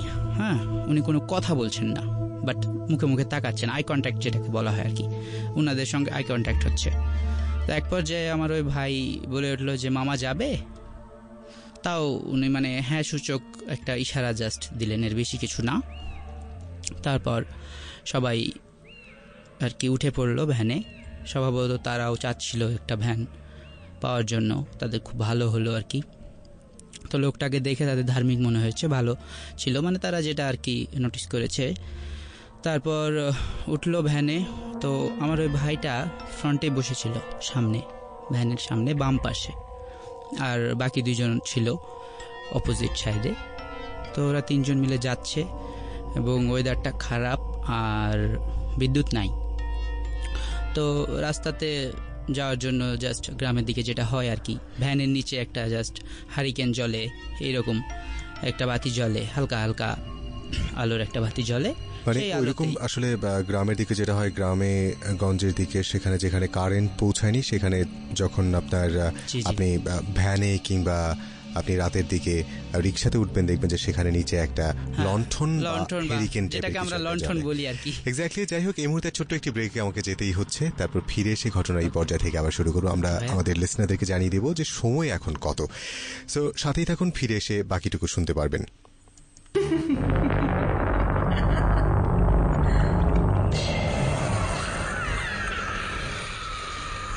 ছোট্ট একটি বিরতি পর আবারও ফিরে এলাম এবং জানিয়ে দিলাম এই মুহূর্তে কটা বাজে? সবাইকে আরও একবার নতুন এই ঘন্টায় স্বাগত জানাচ্ছি।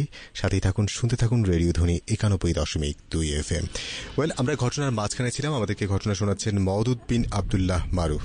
যেখান থেকে আমরা শেষ করেছি ঠিক সেখান থেকে আমরা শুরু করব। হ্যাঁ, জি ওই যে যেটা বলছিলাম আর কি হলো আমার ওই বড় ভাই এবং ওর কাজিনরা একটা ভ্যান পেল আর কি। আর ওইরকম একটা বাজে ওয়েদারের মধ্যে দিয়ে তারা যাচ্ছিল। গল্প করতে করতে যাচ্ছে।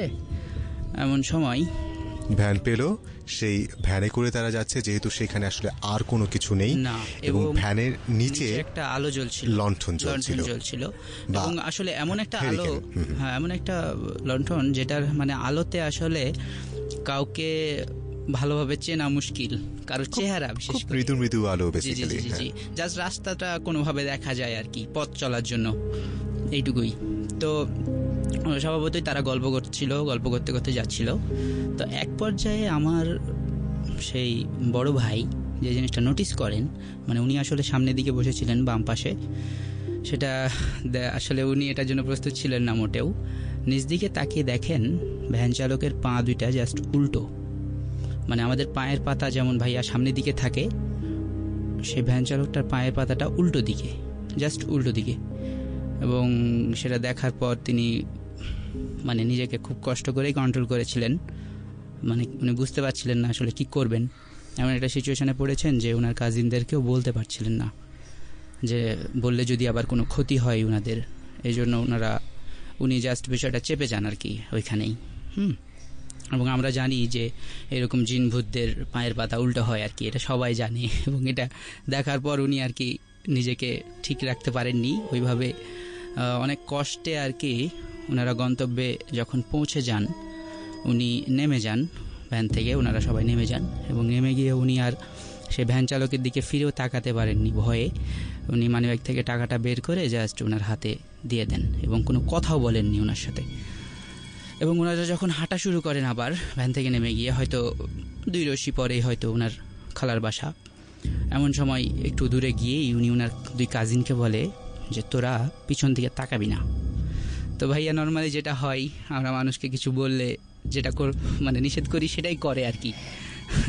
তো ওনার দুই কাজিন করল কি, সঙ্গে সঙ্গে পিছন দিকে তাকালো। ওনাকে উনি জাস্ট নিষেধ করলেন আর ওনারা তাকালো এবং পিছনে তাকিয়ে যেটা দেখল জাস্ট পিছনে কোনো ভ্যান নাই কোনো ভ্যান চালকও নাই এক নিমিষেই হাওয়া হয়ে গেল এবং এটা দেখার পর ওনারা বুঝতে পারল যে সামথিং ওয়াজ রং এবং তারা প্রচণ্ড ভয় পেয়ে গেল এবং তারা এটার অ্যান্সারটা এখনও খুঁজে পায়নি আর কি Something was not really wrong. Something was very, very, very wrong. Well, yes it was really a scary story, and thank you very much. Okay welcome ভাইয়া আর আহ, যারা শুনছেন এই মুহূর্তে, তাদেরকে বলতে চাইছি যে এই ঘটনাগুলো কিন্তু আমরা শুনছি আমাদের অতিথিদের কাছ থেকে, বাট আমরা কোনো মতে এটা প্রকাশ করতে চাই না বা এটা বলতে চাই না বা মতামত দিতে চাই না যে ভূত প্রেত রয়েছে, বিশ্বাস, অবিশ্বাসের বিষয়টি সম্পূর্ণরূপে আপনার নিজের। রাইট শুনছেন ভয়, শুধুমাত্র radio Dhwani ninety one point two F M এ প্রতি বৃহস্পতিবার রাত এগারোটা থেকে রাত একটা পর্যন্ত আর যে লিঙ্কন থাকি আপনাদের সাথে, আর সাথে থাকেন আমাদের অতিথিরা এবং তারা শোনান তাদের জীবনের কিছু ভয়ের অভিজ্ঞতা, কিছু ভয়ের ঘটনা, কিছু ভয়ের গল্প, বাস্তব গল্প। অলরাইট আমরা এই পর্যায়ে যারা টেক্সট করেছেন আমাদেরকে, তাদের কথা একটু বলতে চাইছি। তারপর আমরা ঘটনাতে ফিরব। আমরা জিসান মির্জার কাছে আরেকবার আসব। তার পরবর্তী ঘটনাগুলো শুনবার জন্য। দেখি কারা আমাদের সাথে জয়েন করেছে। আমাদের সাথে অনেকেই জয়েন করেছেন। ফারহান মিরপুর থেকে জয়েন করেছেন। লিখেছেন, খুব ভয় লাগছে। অনেক ধন্যবাদ। মুক্তার আছেন আমাদের সাথে।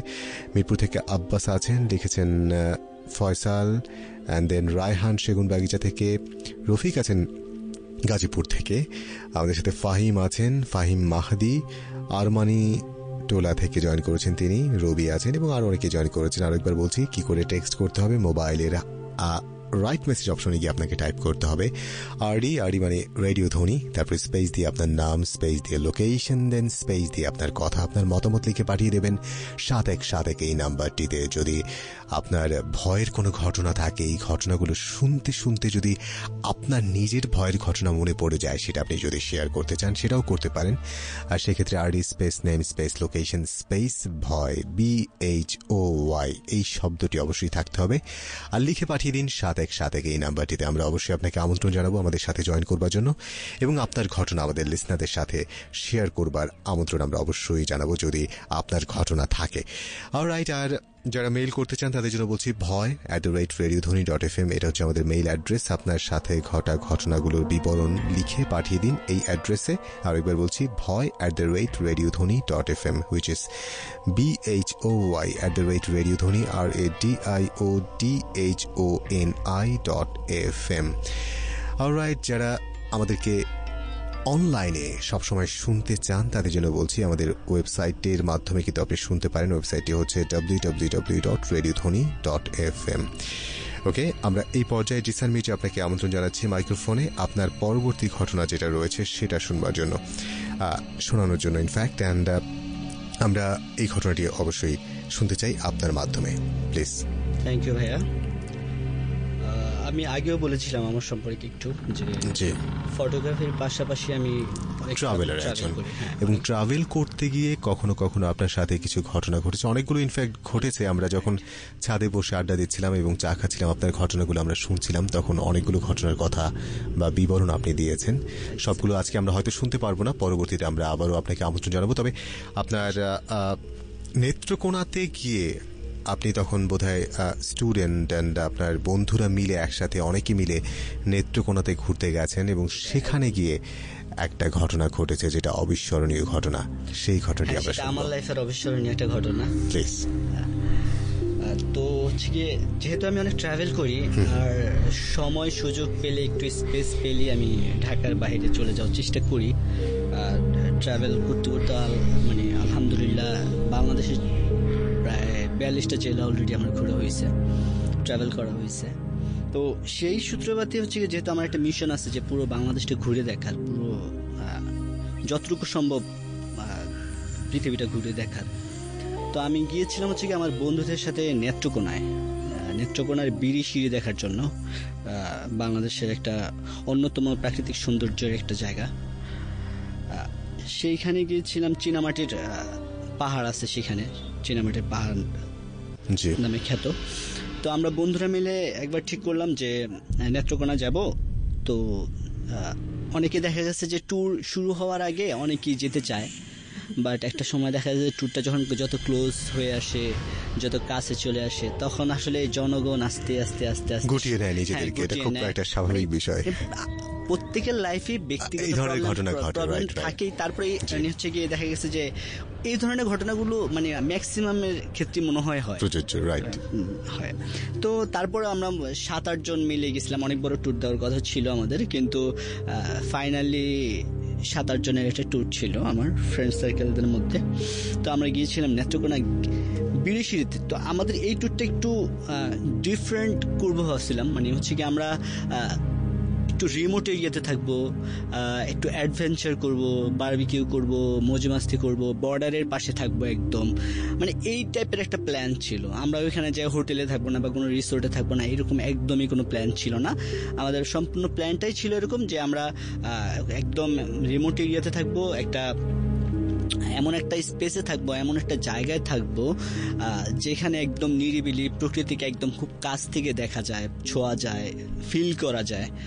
এরকম একটা স্পেসে থাকার সিদ্ধান্ত নিয়ে আমরা চলে গেছিলাম একদম বিরিশিরির এক, একেবারে চীনামাটির পাহাড় যেখানে, তার ঠিক সেখানটা চলে গিয়েছিলাম আমরা। সেখানে গিয়েছিলাম এক বড় ভাইয়ের রেফারেন্সে আমরা যেই বড় ভাই হচ্ছে গিয়ে বড় ভাইয়ের নাম আমি বলছি না, তার কারণ নামে বললে একটু প্রবলেম আছে। নাম স্কিপ করে যাচ্ছি।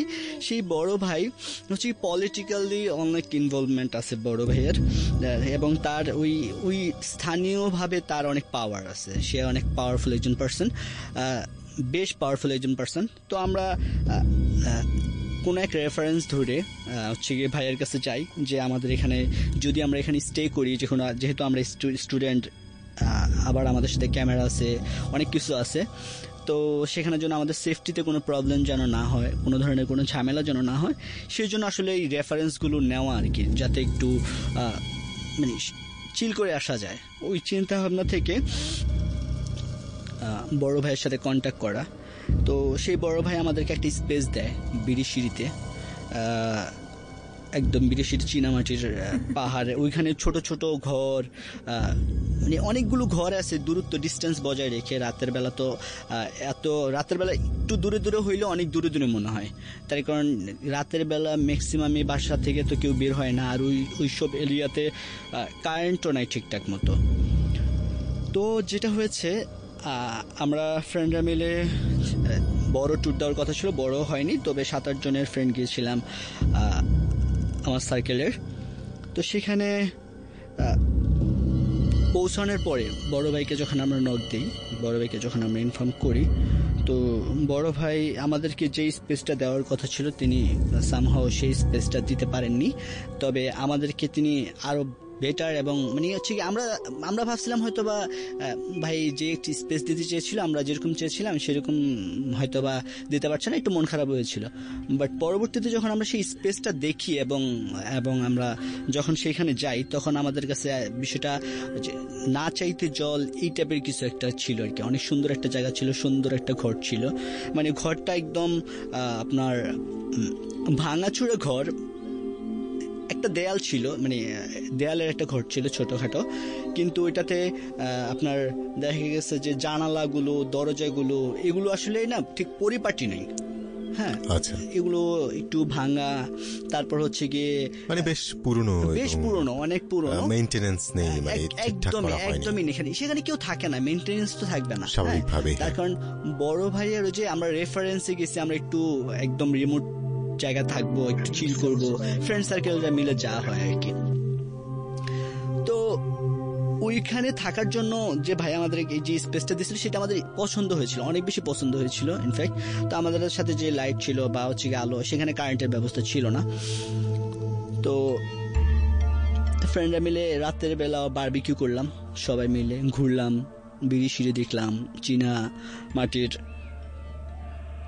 তে নাচানাচি করলাম লাফালাফি করলাম ছবি তুললাম তো সন্ধ্যার সময় যখন ফিরে আসি তখন আমাদের মানে ওইটাতে ছোট কটেজ বলা যেতে পারে।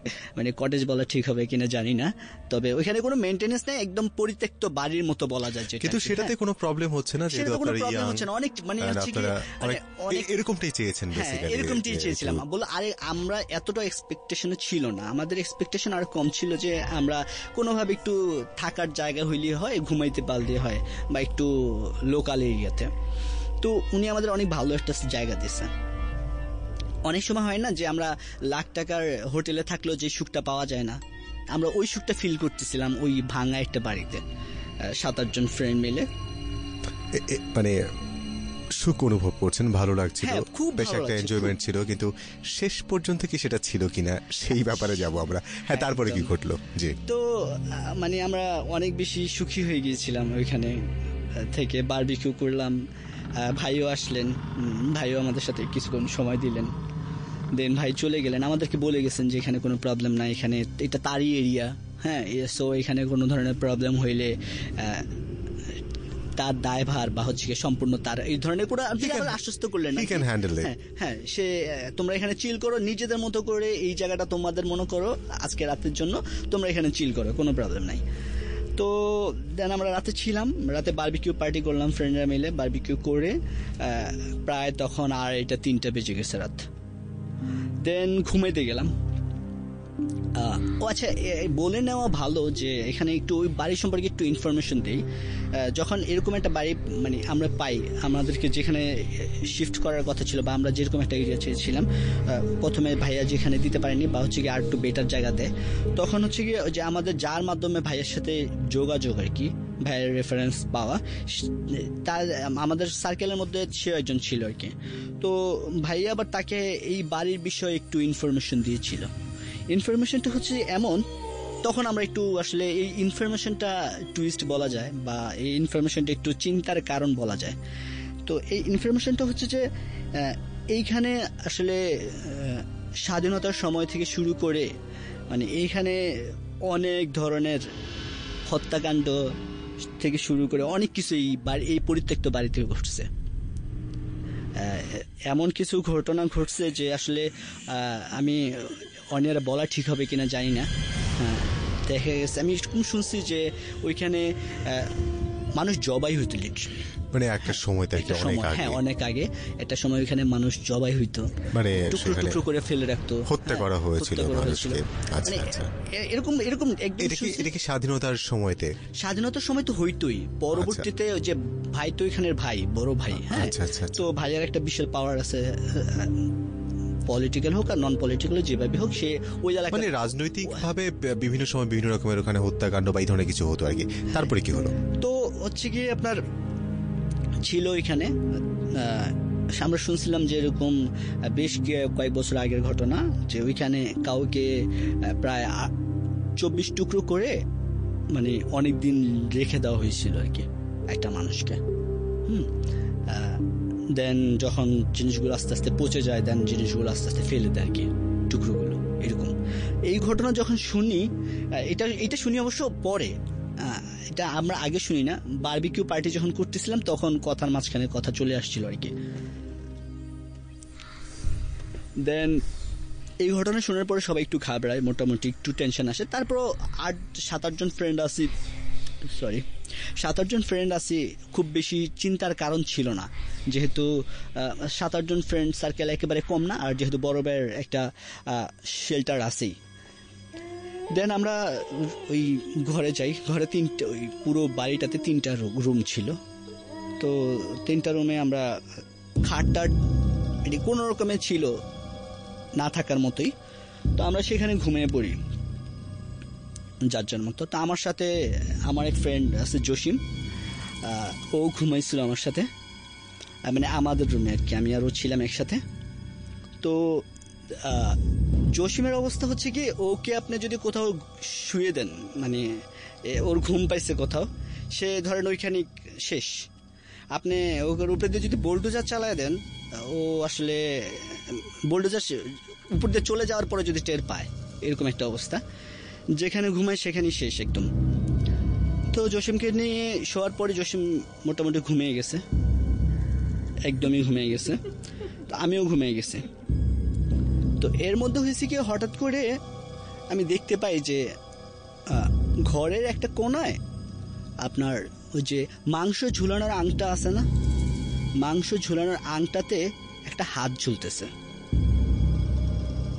একটা কর্নারে একটা মাংস ঝুলানোর আংটাতে একটা হাত ঝুলতেছে। কাটা হাত। রক্ত টপ টপ টপ টপ করে পড়তেছে। জানি না এটা কোত্থেকে কীভাবে আসলো। সাথে সাথে চোখ বন্ধ হয়ে গেছে আমার। দেন আমি অন্যদিকে তাকাইলাম। দেখি একটা রান ঝুলতেছে। রক্ত পড়তেছে টপ টপ টপ টপ টপ টপ করে। তাজা রক্ত একদম। তখন আমি প্রচণ্ড ভয় পাই, এতটা ভয় পাই। মানে যেখানে তাকাচ্ছি সেখানে কোনো না শরীরের কোনো না কোনো অংশ ঝুলে আছে। একটা জায়গায় মাথা উল্টো করে ঝুলে আছে। এরকম দেখতে দেখতে হঠাৎ করে না আমি বুঝতে পারলাম যে না, ও আচ্ছা আমি স্বপ্ন দেখতেছি। আমার ঘুম ভেঙে গেছে। তখন আমি বুঝলাম যে আসলে এটা বাস্তব না, এটা স্বপ্ন। যেহেতু যে বারবিকিউর সময় যে এই ঘরে অনেক কাটাকাটি হয়েছে বা এই ঘরে অনেক এক সময় যুদ্ধের সময় থেকে শুরু করে এই ঘরে যখন অনেক অকারেন্স ঘটছে এই ঘরে, তো ওগুলা হয়তো বা শোনার পরে হয়তো বা একটু বেশি চিন্তা করে ফেলছি, স্বপ্নে ওগুলো চলে আসছে। তো অনেক ভয় পেয়েছিলাম। তো আমার ফ্রেন্ড জসিমকে আমি ডাকতেছি।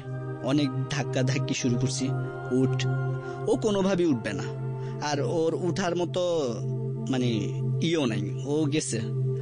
অর্ধ মারা গেছে। ওর এগিয়ে দিয়ে আর উঠানো সম্ভব না। তো আমার ওই দিক দিয়ে ঘুম আসতেছে না। কি করব? ফোন নিয়ে গুতাগুতি করতেছি। এমন এক এরিয়াতে যে মানে হচ্ছে আনন্দ করতে যে, এমন এক এরিয়াতেই গেছি যে এরিয়াতে নেটওয়ার্কও ঠিক মতো নাই। আর নেটওয়ার্ক ঠিক মতো না থাকার কারণে আমি যে ফেসবুকিং করব বা সময় কাটাবো, কারোর সাথে চ্যাট করব, কিছু করব, সেই স্পেসও পাচ্ছি না। সেই সুযোগটাও ছিল না। দেন কতক্ষণ গেমস খেললাম? চিন্তা করলাম একটু হাঁটাহাঁটি করি। যদিও ভয় ভয় লাগতেছিল তখনও অনেক। কিন্তু যখন ঘুমিয়ে গেছে তখন বুঝতেই পারছি যে এটা একটা স্বপ্ন ছিল, দুঃস্বপ্ন ছিল। ওকে তো একটু বসে একটু কতক্ষণ ফোন টিপলাম গেমস খেললাম। দেন একটু হাঁটাহাঁটি পায়চারি করতেছিলাম। পায়চারি করতে করতে বারান্দা পর্যন্ত গেছি। বারান্দা থেকে আবার ব্যাক করলাম রুমে রুমে ব্যাক করে দেখি আমার ফ্রেন্ড জসিম নাই রুমে মানে যারে এতক্ষণ ধরে ডাকলাম, সে রুমে নাই, বিছানাতে নাই।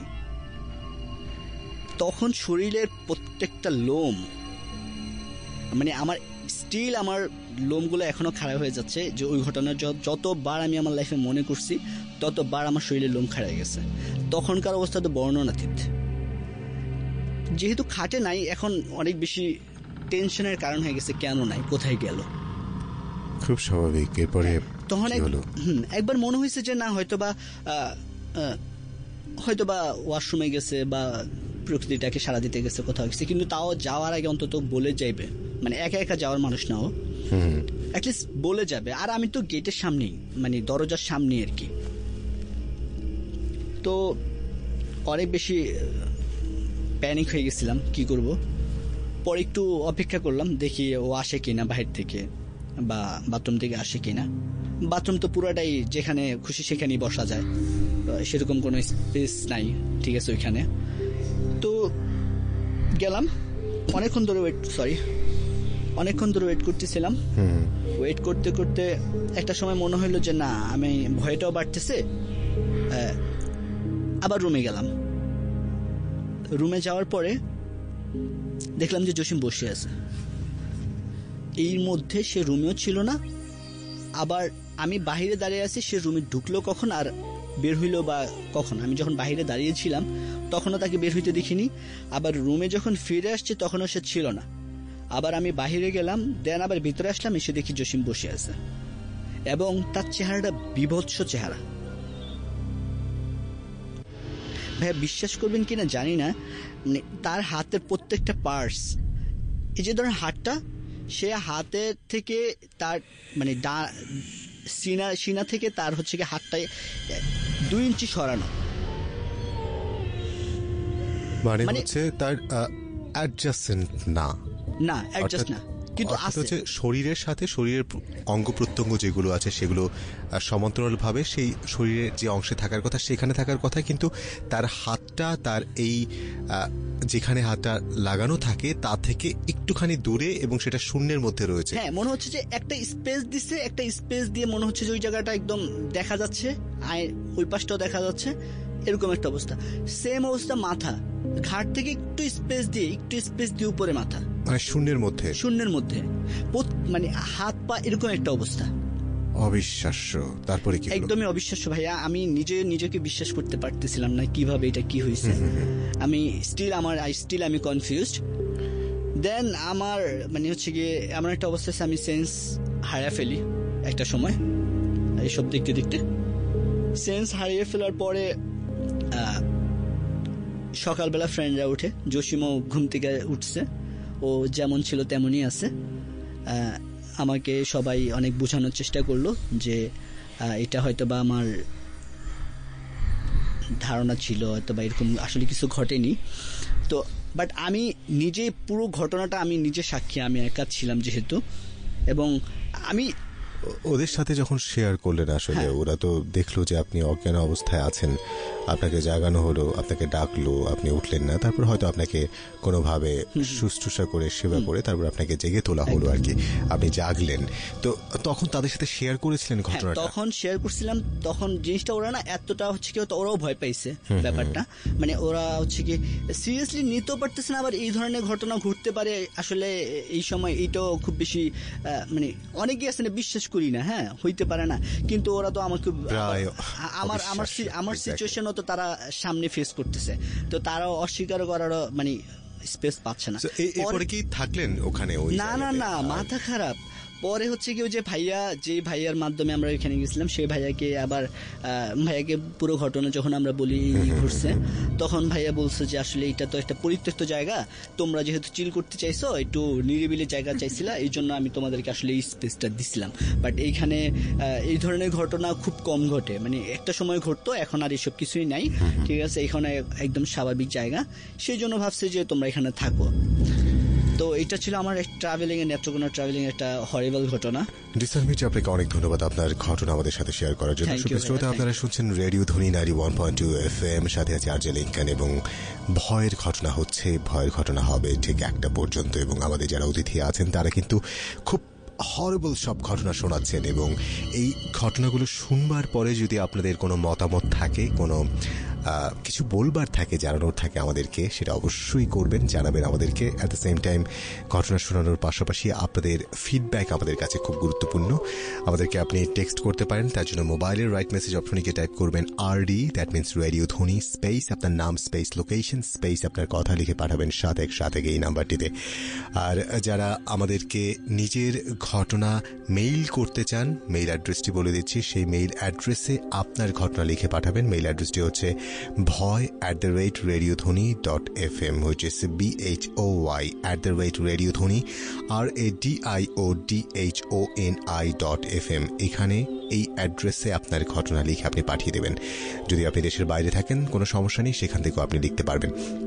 আর যারা আমাদেরকে ওয়েবসাইটের মাধ্যমে সারা বাংলাদেশ সহ বাংলাদেশের বাইরে বিভিন্ন প্রান্ত থেকে শুনতে চান, তাদেরকে বলছি আমাদের অফিসিয়াল ওয়েবসাইটটি হচ্ছে W W W dot radio Dhwani dot F M twenty four hours এই ওয়েবসাইটের মাধ্যমে আমাদেরকে আপনি শুনতে পারবেন। আর যারা নিজেদের ঘটনা শেয়ার করতে চান গেস্ট হয়ে আমাদের মাঝে উপস্থিত হয়ে নিজের ঘটনা শেয়ার করতে চান, তাদের বলছি ছোট্ট একটি এস এম এস করতে হবে আপনাকে। R D space name space location space ভয় বি এইচ ও ওয়াই পাঠিয়ে দেবেন সাত এক সাত এক এই নাম্বারটিতে। ভয় টিমের মেম্বার্স যারা আছেন, তারা আপনার সাথে যোগাযোগ করবে এবং আপনার ঘটনা শুনবেন। শুনবার পরে যদি আপনার ঘটনা মনোনীত হয়, তাহলে আপনাকে আমন্ত্রণ জানাবেন আমাদের এই অনুষ্ঠানে অংশ নেবার জন্য এবং আপনার ঘটনাগুলো শেয়ার করবার জন্য। আমরা এই পর্যায়ে ফাহিম হাসান আবির তার কাছে যাব। তার পরবর্তী ঘটনা শুনবার জন্য তার ছেড়ে, ছেড়েবেলার একটি ঘটনা রয়েছে। সিলেটে বেড়াতে যাওয়ার ঘটনা এবং তখন আপনি স্কুলের স্টুডেন্ট ছিলেন। সো, সেখানে গিয়ে কিছু ঘটনা আপনার সাথে ঘটে। ইনফ্যাক্ট আপনাদের সাথে ঘটে, আপনাদের বন্ধুদের সাথে ঘটে। সেই ঘটনাটি আমাদের লিসনার যারা আছেন, তাদের উদ্দেশ্যে আপনি শোনাবেন। থ্যাংক ইউ ভাইয়া।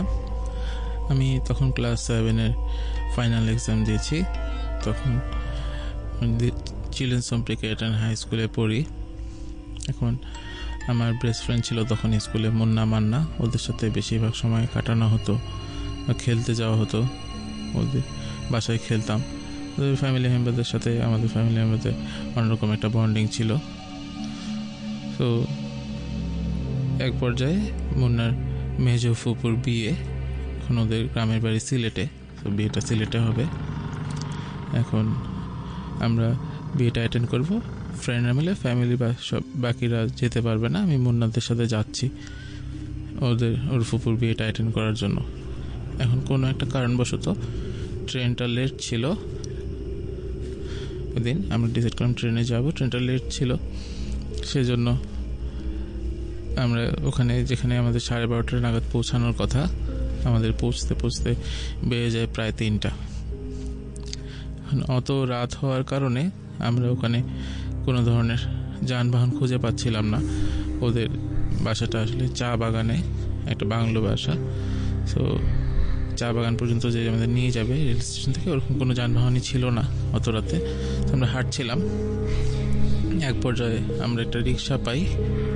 রিক্সাকে অনেক রিকোয়েস্ট করার পর সে যেতে রাজি হয়। রাস্তায়ও তেমন একটা আলো নেই। খুব অন্ধকার। চাঁদের আলোটাই আমাদের সহযোগিতা করছে রাস্তা দেখতে। এখন একটা অনেকক্ষণ রিক্সা চালানোর পর আমাদের তিনজনকে রিক্সাওয়ালা একটা স্টেটের সামনে নামিয়ে দেয়। ওখানে চা বাগানগুলিকে স্টেট বলা হয়। বলে যে আপনারা যেখানে যেতে চাচ্ছেন টি এস্টেট বলা হয় জি টি এস্টেট জি জি। এখন ওখানে এইটা আপনাদের গন্তব্যস্থান। আপনারা এদিক দিয়ে উঠে যান তাহলে যেতে পারবেন। আমাদের নামিয়ে দেয়। আমরা স্টেটে ভিতরে ঢুকে হাঁটতে শুরু করি, কিন্তু ভিতরে গিয়ে আমরা আর বাংলোটা খুঁজে পাচ্ছি না। তখন আমরা অনেক খোঁজাখুঁজির পর একটা সার্ভেন্ট কোয়ার্টারের মতো ছোট একটা ঘর দেখতে পাই। চিন্তা করি ওখানে গিয়ে জিজ্ঞেস করি যে, বাংলোটা যাওয়ার রাস্তাটা কোন দিকে? তখন রাত হওয়ার কারণবশত ওরাও ঠিকমতো চিনতে পারতেছে না, কারণ অন্ধকারে আসলে কিছুই দেখা যাচ্ছে না। তখন ওই বাসায় নক করার পর, অনেকক্ষণ নক করার পর একজন বয়স্ক মহিলা দরজা খোলেন। এবং আমরা আমাদের পরিচয় দেওয়ার পরে ওদের সাথে সিলেটি ভাষায় কথা বলছেন উনি। আমি ওদের সাথে সবসময় থাকি, সেজন্য একটু একটু বুঝি সিলেটি ভাষা। তো তখন উনি বলছিলেন যে, ওই জায়গাটা অনেক দূরে, এখান থেকে আরও তো তোমরা যেতে পারবে না এত রাতে। আর সামনে তোমাদের বিপদ হইতে পারে, এত রাতে যাওয়াটা ঠিক হবে না। তোমরা এখানে থাকো রাতে সকাল ভোর হলে তোমরা ওখানে যেও। আমরাও চিন্তা করি অনেক রাত হয়ে গেছে, আমরা ওখানে থাকার ডিসিশন নেই। এবং আমরা ভিতরে যাওয়ার পরে উনি আমাদের ফ্রেশ হয়ে নিতে বলেন। আমরা ফ্রেশ হয়ে বসে গল্প করছি, তখন এক পর্যায়ে উনি আমাদের জন্য গরম গরম খাবার নিয়ে আসেন। আমাদের পেটে খিদা ছিল, আমরা চিন্তা করিনি এত রাতে উনি হঠাৎ করে এত খাবার কীভাবে পেলেন গরম গরম। আমাদের দিয়ে আমরা খেয়ে দিয়ে ঘুমিয়ে পড়ি। এখন ঘুম থেকে যখন ভোরবেলা চোখে রোদ পড়ে, তখন আমাদের ঘুমটা ভেঙে যায়, আশেপাশে মানুষজনের শব্দে। তখন আমরা ঘুম থেকে উঠে দেখি যে আমরা চা বাগানের মাঝখানে ঘুমিয়ে আছি। আমরা আসলে ঘুমিয়েছিলাম ওই মহিলার যে বাসাটা ছিল সার্ভেন্স কোয়ার্টার সে কোয়ার্টারের ভিতরে একটা চকিতে। কিন্তু আমরা উঠে দেখি যে আমরা চা বাগানের মাঝখানে মাটিতে ঘুমাচ্ছি। আমাদের সাথে ব্যাগ ট্যাগ যা ছিল সব কিছুভাবেই আছে। তখন আমরা চা বাগানে যারা চা তুলায় ব্যস্ত। আমাদের আশেপাশে কয়েকজন ঘিরে দেখা দেখতেছেও যে আমরা এখানে কি করছি। তখন তাদের জিজ্ঞেস করলাম যে এখানে তো এরকম একটা কোয়ার্টার, সার্ভেন্টস কোয়ার্টার ছিল, সেটা কোথায় গেল? আমরা তো ওখানে ঘুমাইছিলাম। তারা সবাই বলে যে, না, এই চা বাগানে কোনো সার্ভেন্টস কোয়ার্টার নেই। এটা শুধুই টেস্টেড এখানে কোনো বাংলোও নেই বা সার্ভেন্টস কোয়ার্টারও নেই। তারপর আমরা ওদের বাসার ঠিকানাটা জানতে চাইলাম যে, এখান থেকে আর কতটুকু দূরে যেতে হবে। তখন ওনারা আমাদের বলল যে, এখান থেকে রিক্সা নিয়ে আরও অনেকটা সামনে। তখন আমরা ভেবে গেলাম বাসায়। বাসায় যাওয়ার পর ওই দিন আমরা এক হুজুরের শরণাপন্ন হই। তাকে জিজ্ঞেস করার জন্য আসলে ঘটনাটা কী ঘটেছিল। তখন সে আমাদের যে ব্যাখ্যাটা দেয়, সেটা হচ্ছে এমন যে ওই ওখান থেকে আমরা যদি আরও সামনে যেতাম, তাহলে হয়তো বা আমাদের কোনো ক্ষতি হতো বড় ধরনের। সেজন্য ওই মহিলাটা আসলে একটা ভালো জিন ছিল। সে আমাদের সেখানে সাহায্য করে। এতটুকুই। Thank you very much Fahim Hasan আপনাকে আপনার ঘটনা আমাদের সাথে শেয়ার করবার জন্য সবই শ্রোতার শুনছেন radio Dhwani ninety one point two F M সাথে অনেকেই আছেন এই মুহূর্তে অনেকেই পোস্ট শেয়ার করেছেন।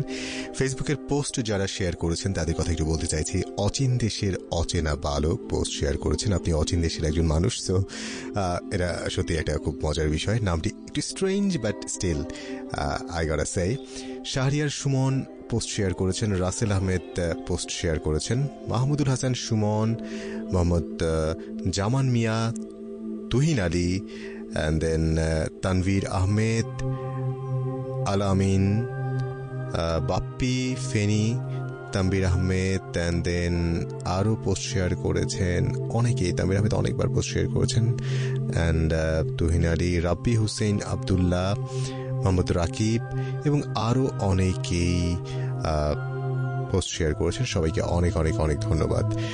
যাই হোক, আমরা আবার যাব এই মুহূর্তে জিসান মির্জা তার কাছে। তার সর্বশেষ যে ঘটনাটি আছে, সেই ঘটনাটি আমরা শুনব। শবে বরাতের রাতের একটি ঘটনা, শবে বরাতের সময়ের ইনফ্যাক্ট সেই সময়ের একটি ঘটনা আছে আপনার জীবনে। সো সেই ঘটনাটি আমরা শুনব। প্লিজ ধন্যবাদ ভাইয়া। জি। এই ঘটনাটা ঘটেছে হচ্ছে কি আমার নিজ জেলা চাঁদপুরে। চাঁদপুর আমার ছোটবেলা আমার জন্ম আমার বেড়ে ওঠা চাঁদপুর ছোটবেলা থেকে। কিন্তু হচ্ছে কি একটু বড় যখন হই আগে হচ্ছে গিয়ে চাঁদপুর আসা যাওয়া ছিল ঢাকা চাঁদপুর বাবা ঢাকা জব করতেন। তো ওই হিসেবে আসা যাওয়ার মধ্যে ছিলাম। কিন্তু পারমানেন্টলি হচ্ছে কি টু থাউজেন্ড থেকে আমরা ঢাকা থাকি। তার আগে আমার জন বেড়ে ওঠাটা, জন্ম থেকে বেড়ে ওঠাটা আমার বেসিক্যালি চাঁদপুরই। তো ছোটবেলা থেকে অনেক একই সমবয়সী অনেক ফ্রেন্ড সার্কেল ছিল। এখনও আছে। তো তারা ম্যাক্সিমামে এখন হচ্ছে কি ঢাকা কেন্দ্রিক হয়ে গেছে, গ্রামে খুব কম থাকে। খুব কম মানুষই এখন আমাদের আমাদের গ্রামটাতে খুব কম মানুষই থাকে আর কি পারমানেন্টলি বিশেষ করে আপনার যারা মোটামুটি আছে আর কি, তারা চলে আসছে ঢাকার দিকে বা ঢাকার বাইরে, দেশের বাইরে অনেকেই থাকেন। তো তবে একটা সময় আমরা মোটামুটি গ্রামের মানে বাহিরে যারা থাকি বা গ্রামের বাহিরে যারা থাকি, চাঁদপুরের বাহিরে যারা থাকি, কিছু কিছু অকেশন আমাদের দেখা গেছে যে আমরা মিট করি আর কি। যেমন হচ্ছে গিয়ে ওয়াজ মাহফিল হয়। শীতের সময় একটা ওয়াজ মাহফিল হয়। তারপরে এই সবে বরাত, ঈদ এগুলোতে হচ্ছে গিয়ে মোটামুটি এইসব অকেশনগুলোতে মোটামুটি আমাদের একসাথে দেখা হয়। বন্ধুদের বা আত্মীয় স্বজন চাচা চাচি সবার সাথে মোটামুটি দেখা সাক্ষাৎ এই সময়টাতে বেশি হয়। তো তেমনই একটা প্রোগ্রাম বা হচ্ছে গিয়ে বাৎসরিক একটা প্রোগ্রাম মানে সবসময় হয় শীতের সময় ওয়াজ মাহফিল এবং এই যে সবে বরাত রোজার ঠিক পূর্বে সবে বরাতে খুব বড় করে মানে হচ্ছে গিয়ে আমাদের এখানে একটা প্রোগ্রাম হয় আর কি ওয়াজ মাহফিলের মতো। সভাপতির জন্য একটা বিশেষ একটা ওয়াজ বিশেষ, মাহফিলের হ্যাঁ, আয়োজন করা হয়। সেখানে গ্রামের বিভিন্ন প্রান্তের মানুষ যারা আছেন তারা একত্রিত হন। একত্রিত হয় না এক্স্যাক্টলি. ভাইয়া। তো এই ওয়াজ মাহফিল বা হচ্ছে গিয়ে এই এই কারণে ঢাকার বাইরে যারা আছে তারা হচ্ছে গিয়ে মানে ঢাকার বাইরে এবং গ্রামের বাইরে যারা আছে তারা অনেকেই সবাই যায়। তো এমনই একটা প্রোগ্রামে আমরা গিয়েছিলাম মানে এমনই সবে বড়তে জি। তো তখন আমরা ছোট ছিলাম আর কি। ঢাকা থেকে গ্রাম থেকে আসার পর পরের ঘটনা আর কি। সেই আপনার টু থাউজেন্ড থ্রি ফোর এরকম ঘটনা আর কি। তখন অনেক অনেক ছোট ছিলাম। তারপরে কি হলো তারপর হচ্ছে যে আপনার গ্রামে ধর- ধরেন কি এক ধরনের মুরব্বীরা আছেন দেখবেন যে আহ, একটু বাচ্চা কাচ্চাদের একটু বেশি শাসন করে বকাঝকা করে হ্যাঁ। ভালোর জন্যই করেন কিন্তু আসলে সেই সময় যারা আসলে হ্যাঁ। বাচ্চা থাকেন আর কি আমরা যখন তখন আমরা বুঝতে পারি না, আমরা বুঝতেও পারি না সেটা আমাদেরকে বিরক্ত করে অনেক বেশি। হ্যাঁ এক্স্যাক্টলি আচ্ছা কি- হলো মানে সেই রকম মানুষটার সাথে কি হলো যে আপনাদেরকে শাসন করতো আর কি? তো আমাদের এরকম এক দাদা ছিলেন তো তিনি আমাদেরকে অনেক বেশি শাসন করতেন অনেক বকাঝকা করতেন। দেখা গেছে যে আমরা মসজিদে বা হচ্ছে গিয়ে ওয়াজ মাহফিলের ওদিকে তখন অনেক কাজ চলে পেন্ডিং এর কাজ চলে হচ্ছে গিয়ে লাইট লাগানোর লাইটিং এর কাজ চলে অনেক কাজ চলে মাইক লাগানোর কাজ চলে। তো হেল্প করতেন তাদেরকে সেই কাজের হেল্প করতে যে আসলে হয়তো নষ্ট করতাম। আচ্ছা যাই হোক তো বকাও খেতে হতো তাদের। বকা প্রচণ্ড বকা খেতে হতো। ইভেন উনি চা- চা- চাইতেন না হচ্ছে কি আমরা যে ওইখানে যাই আর কি এই টাইপের একটা। তো দেখা যাচ্ছে যে এরকম বকা জকা সবসময় করতে ভালো লাগতো না হ্যাঁ? আর আমরা তো অনেকদিন পরে গ্রামে যেতাম এর মধ্যে বকাঝকা আর যারা গ্রামে স্থায়ীভাবে সবসময় থাকে, যেসব ফ্রেন্ডরা আছে, ওরা তো ধরেন ঝাড়ির উপরে, বকার উপরে থাকে সবসময়। তো আমরা সবাই মিলে চিন্তা করলাম যে সবাই বেড়া তার আগের দিন শিখ লাইট টাইট সব কিছু লাগানো হচ্ছে। তো সবাই মিলে চিন্তা করলাম যে, এক কাজ করি চল, একটু কিছু করি হ্যাঁ তাকে একটু ভয় টয় দেখাই বা তার সাথে একটু মজা টজা করি। তো মজা করতে যে মানে মানে আপনারা মিলে সিদ্ধান্ত নিলেন তাকে পানিশমেন্ট করবেন পানিশমেন্ট দেবেন কিন্তু কীভাবে সেটা সেটা আপনারা সবাই মিলে তাকে ভয় দেখাবেন। ভয় দেখাবো রাইট ওকে তো ভয় দেখানোর ব্যাপারটা কি ডিসকাস করলে আর জিনিস বাড়ে হ্যাঁ? তো বাড়তে বাড়তে এক্সপোর্টে চলে গেল কি আমরা এটা অনেক সিরিয়াসলি নিয়ে ফেলছি সবাই যে না আসলে এটা করিয়ে ছাড়বো যেভাবেই হোক। দেন যেমন কথা তেমন কাজ প্ল্যানিং শুরু হয়ে গেছে কাজটা শুরু হয়ে গেছে, ভয় দেখানোর সরঞ্জাম নিয়ে আসা শুরু হয়েছে। চারপাশ থেকে যে যেখানে যতটুকু পাইছে, কে কোথায় দাঁড়াবে, কোন পজিশনে দাঁড়াবে, কীভাবে, কি হবে, না হবে সবগুলো মোটামুটি সেট আমরা করে ফেলছি। তো আমাদের গ্রামটা যেখানে ঠিক চারপাশে মোটামুটি হচ্ছে কি ঘর বাড়ি আছে, তবে তুলনামূলকভাবে অনেক কম। একদম রিমোট এরিয়া মফস্বলে আর কি রিমোট এরিয়াতে আর কি। আপনার, আর বাড়ির আশেপাশে ঘর থেকে বের হইলেই মানে কাচারি ঘর থাকে বাড়িতে একটা, যেখানে নামাজ টামাজ পড়ে। মানে মসজিদ ছাড়াও একটা কাচারি ঘর ছিল আর কি এই কাচারি ঘরটা আগে অনেক আগে, ছোটবেলা থেকে আমরা দেখে আসছি, বাট তার পরবর্তীতে আবার একটা বড় একটা মসজিদ হয়েছে দূরে, যেটাতে এখন ওয়াজ মাহফিলটা মাহফিল হয় বা বড় ধরনের প্রোগ্রামগুলো হয়। তো এই কাচারি ঘরের সামনে থেকে শুরু করে ওই আমাদের মাদ্রাসা মাঠ পর্যন্ত যেতে কবরস্থান, বিশাল বড় এক কবরস্থান আছে। চারপাশে কবরস্থান। এদিকে মোটামুটি গ্রাম থেকে একটু বের হইলে বাড়ি থেকে বাড়িগুলো তো চারপাশ দিয়ে থাকে, মাঝখানে একটা উঠোন থাকে, ওই উঠোন থেকে বের হইলে দেখা যায় যে ছোট ছোট কবরস্থান, কবর, এইটা, ওইটা। তো রাত্রেবেলা ওইভাবে ঘোরাঘুরি বা হচ্ছে কি ওইভাবে হাঁটাহাঁটি খুব কম হয়। মানে দল যদি না থাকে, সিঙ্গেলি হাঁটাটা একটু মানে ভয়ের ব্যাপার। তো আমরা যেমন প্ল্যান করছিলাম যে ওই কবরস্থানে, একটা বড় কবরস্থান আছে ওই দিক দিয়ে হচ্ছে গিয়ে তার যাতায়াত সবচেয়ে বেশি ওই দাদার। তো উনি বাজার থেকে ফিরছেন রাতে। আমরা প্ল্যান করছি যে আজকে রাতে ওনাকে দেখি কতটাকে কি করা যায়। তো প্ল্যান অনুযায়ী ওই কবরস্থানের উপরে একজনকে গিয়ে দাঁড় করিয়ে দিছিলাম। মানে ও একটু সাহসী ছেলে। একজনকে দাঁড় করিয়ে দিয়েছি, সাদা সাদা একটা কাপড় পরিয়ে। এবং একটু লাইটিং এর ব্যবস্থা করছি দূরের থেকে। তো এভাবে করতে করতে মানে কবরস্থানের উপরে ওকে, কবরস্থানের একটা পাশ আছে সাইডে জায়গা থাকে, ওই জায়গাতে কবরস্থানটা তো দেয়াল দেয়াল করা, ওয়াল করা, আপনার ওই ছোট্ট একটু ওয়াল করা আর কি, বড় না কত, দুই ফুট বা আড়াই ফুট এরকম হবে, এই উচ্চতায়। তো দেয়ালের আড়ালে ওকে রাখা হয়েছে। যেন সিগন্যাল দিতেছে, উনি তার পজিশন সম্পর্কে আমরা জানতেছি, বা কীভাবে আসতেছেন উনি। তো একটা সময় যখন উনি কাছাকাছি চলে আসেন, যে এই রোড দিয়ে এখন যাবে, আমরা যখন কনফার্মেশন পাই, বা এই রোড দিয়ে এখন দুই মিনিটের মধ্যে উনি ইন করবেন, এদিক দিয়ে যাবেন, তখন প্ল্যান অনুযায়ী ওনাকে ভয় দেখানোর জন্য তাল গাছ ছিল পাশে। দেখা গেছে বড় বড় ইট নিয়ে তাল গাছে মারছি, যেন তাল গাছের শব্দটা বেশি হয়। আচ্ছা। চারপাশ থেকে তাল গাছে ইট মারা শুরু হয়েছে। শব্দটা এক ধরনের একটা ভৌতিক শব্দ ক্রিয়েট করলাম কৃত্রিম ভাবে তারপর হচ্ছে কি একটু লাইটিং এর ব্যবস্থা ছিল ওই যে সাদা কাপড় পরায় দিয়ে মানে মোট কথা যেটা ভয় দেখানোর জন্য যা যা করা। যায় সবকিছুই করেছেন। হ্যাঁ কি এরপরে কি হলো আসলে? তিনি কি ভয় পেলেন? হ্যাঁ সেটাই আমি বলছি ভাইয়া। তো তিনি আসতেছেন তো যাকে আমরা দাঁড় করে দিছি মানে এটা মানে ওনাকে ভয় দেখানোর কথা ছিল সে ভয় আর দাঁড়াইছে ঠিকই কিন্তু আর সেরকম ভাবে ভয় দেখাইলো না। উনি চলে গেছে ওনার মতো করে। হুম হুম। উনি চলেও আসছে। এখন আমাদের পুরো প্ল্যান ফেল হুম হুম। মানে ভয় দেখাইলো না কেন বুঝলাম না উনি মূর্তির মতো দাঁড়ায় ছিল।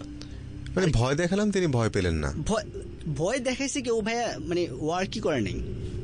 মানে আচ্ছা। যেরকম করার কথা ছিল ভয় দেখাবে সেরকম আচ্ছা, কিছু আচ্ছা। করে নাই। জাস্ট র্যান্ডমলি দাঁড়ায় ছিল। তো উনি এটা নোটিস করছে কিনা মানে শব্দ তো নিশ্চয়ই শুনছে। এখন নোটিস করছে কিনা আদৌ করছে কিনা সেইটা জানি না। তবে উনি চলে গেছে। আমরা বের হয়ে যখন কয়েকজন আসলাম ওর কাছে আসলাম।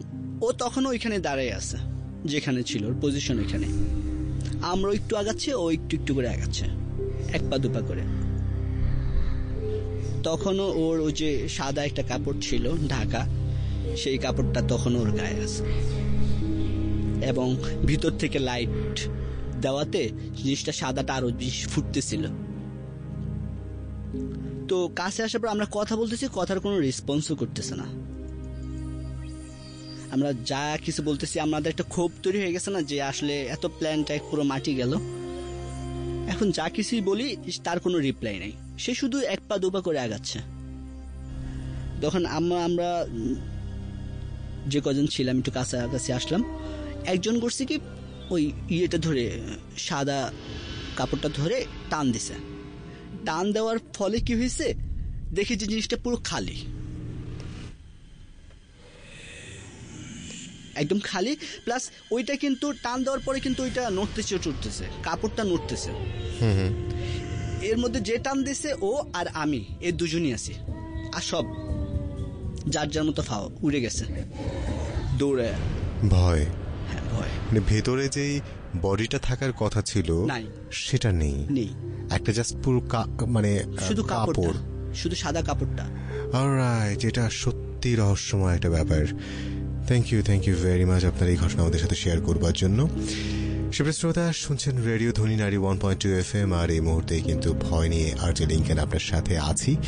আর আজকে সময় এখানেই শেষ। আজকের মতো বিদায় নেব। তবে যারা জয়েন করেছেন আমাদের সাথে, তাদেরকে ধন্যবাদ জানাচ্ছি। রিসান মির্জা ছিলেন আমাদের সাথে। আমাদের সাথে ছিলেন মদউদ বিন আবদুল্লাহ মারুফ। অ্যান্ড দেন আমাদের সাথে ছিলেন ফাহিম হাসান আবির তাদের সবাইকে অনেক অনেক ধন্যবাদ। আরও অনেক ঘটনা ছিল বাট সময়ে স্বল্পতার কারণে আমরা সেই ঘটনাগুলো আজকে শোনাতে পারছি না। আমরা পরবর্তীতে আমাদের এই অতিথি যারা আছেন, যাদের ঘটনা আজকে আমরা শুনতে পাইনি, যেগুলো বাকি আছে আর কি, সেগুলো আমরা পরবর্তী সময় কোনো একদিন আবার শুনব। আপনাদের সবাইকে অনেক অনেক ধন্যবাদ আমাদের সাথে জয়েন করবার জন্য। ধন্যবাদ ভাই, আপনাকেও আমাদেরকে বলার মতো একটা স্পেস দেওয়ার জন্য, একটা সুযোগ দেওয়ার জন্য। ধন্যবাদ রেডিও ধনীকে। ধন্যবাদ link it's our pleasure thank you thank you very much you, thank you, শ্রোতা আমরা আবারও ঠিক হাজির হয়ে যাব বৃহস্পতিবার এই সেম সময়ে রাত এগারোটা থেকে রাত একটা পর্যন্ত। এবং আমাদের সাথে নতুন অতিথি থাকবেন, সাথে থাকবে নতুন কিছু ভয়ের ঘটনা। এবং আশা করব সবসময়ের মতন আপনাদের ভালোবাসা আমরা পাবো। যেতে যেতে কয়েকটি এস এম এস একটু পড়তে চাইছি। আমাদের সাথে অনেক অনেক অনেক দিন পর অনিভা ডিও মিরপুর দশ থেকে জয়েন করেছেন। লিখেছেন, ভাইয়া, আমাকে ভুলুন অবশ্যই ভুলব না, কিন্তু এতদিন আপনি কোথায় ছিলেন সেটাও আমরা জানতে চাই। অনেক দিন আপনাকে পাইনি। এনিওয়ে সাইফুল ইসলাম জনি গাজীপুর থেকে রায়হান মিরপুর ঢাকা থেকে সাইফুল ইসলাম অ্যান্ড দেন আরিফ বাড়িধারা থেকে মোহাম্মদ জিমর খান উত্তরাচার থেকে প্রীতম আহমেদবাগ থেকে, পিয়াস খিলগাঁও থেকে অ্যান্ড দেন অনিভারিও আবারও এস এম এস করেছেন। Pritom Ahmed S M S করেছেন মাদারীপুর থেকে মাসুদ লিখেছেন আমাদেরকে, ফারহান মিরপুর থেকে লিখেছেন, শাহনাজ, রিচি, শ্যামলী থেকে লিখেছেন। ভাই, আজকের কাহিনীগুলো ভালোই লাগছে, শুনতে কিছু কাহিনী শর্ট হলেও তাতে অনেক ভয় ছিল। সাগর, বাগেরহাট থেকে তানিম কাজপুর থেকে লিখেছেন, নেত্রকোনার ঘটনাটা তার খুব ভালো লেগেছে। ওয়েল অনেক ধন্যবাদ আপনাদের সবাইকে যারা এতক্ষণ ধরে আমাদেরকে শুনছিলেন এবং সবাইকে আরও একবার আমন্ত্রণ জানাচ্ছি। আগামী সপ্তাহে, অর্থাৎ আগামী বৃহস্পতিবার সেম টাইম রাত এগারোটা থেকে রাত একটা পর্যন্ত রেডিও ধ্বনির ভয় প্রোগ্রামটি শোনার জন্য আরজে লিঙ্কানের সাথে থাকার জন্য। আর আজকের অতিথি যারা আছেন, তাদেরকে আরও একবার ধন্যবাদ জানাচ্ছি এবং রোজা সো রোজার এই সিয়াম সাধনা সবার সুন্দর হোক এবং সবার প্রতি শুভকামনা রইল। সবাই সুস্থ থাকবেন, ভালো থাকবেন এবং সবসময় অবশ্যই রেডিও ধ্বনি একানব্বই দশমিক দুই এফ এর সাথেই থাকবেন। আজকের মতো বিদায় নিচ্ছি। শুভরাত্রি। আল্লাহ হাফিজ।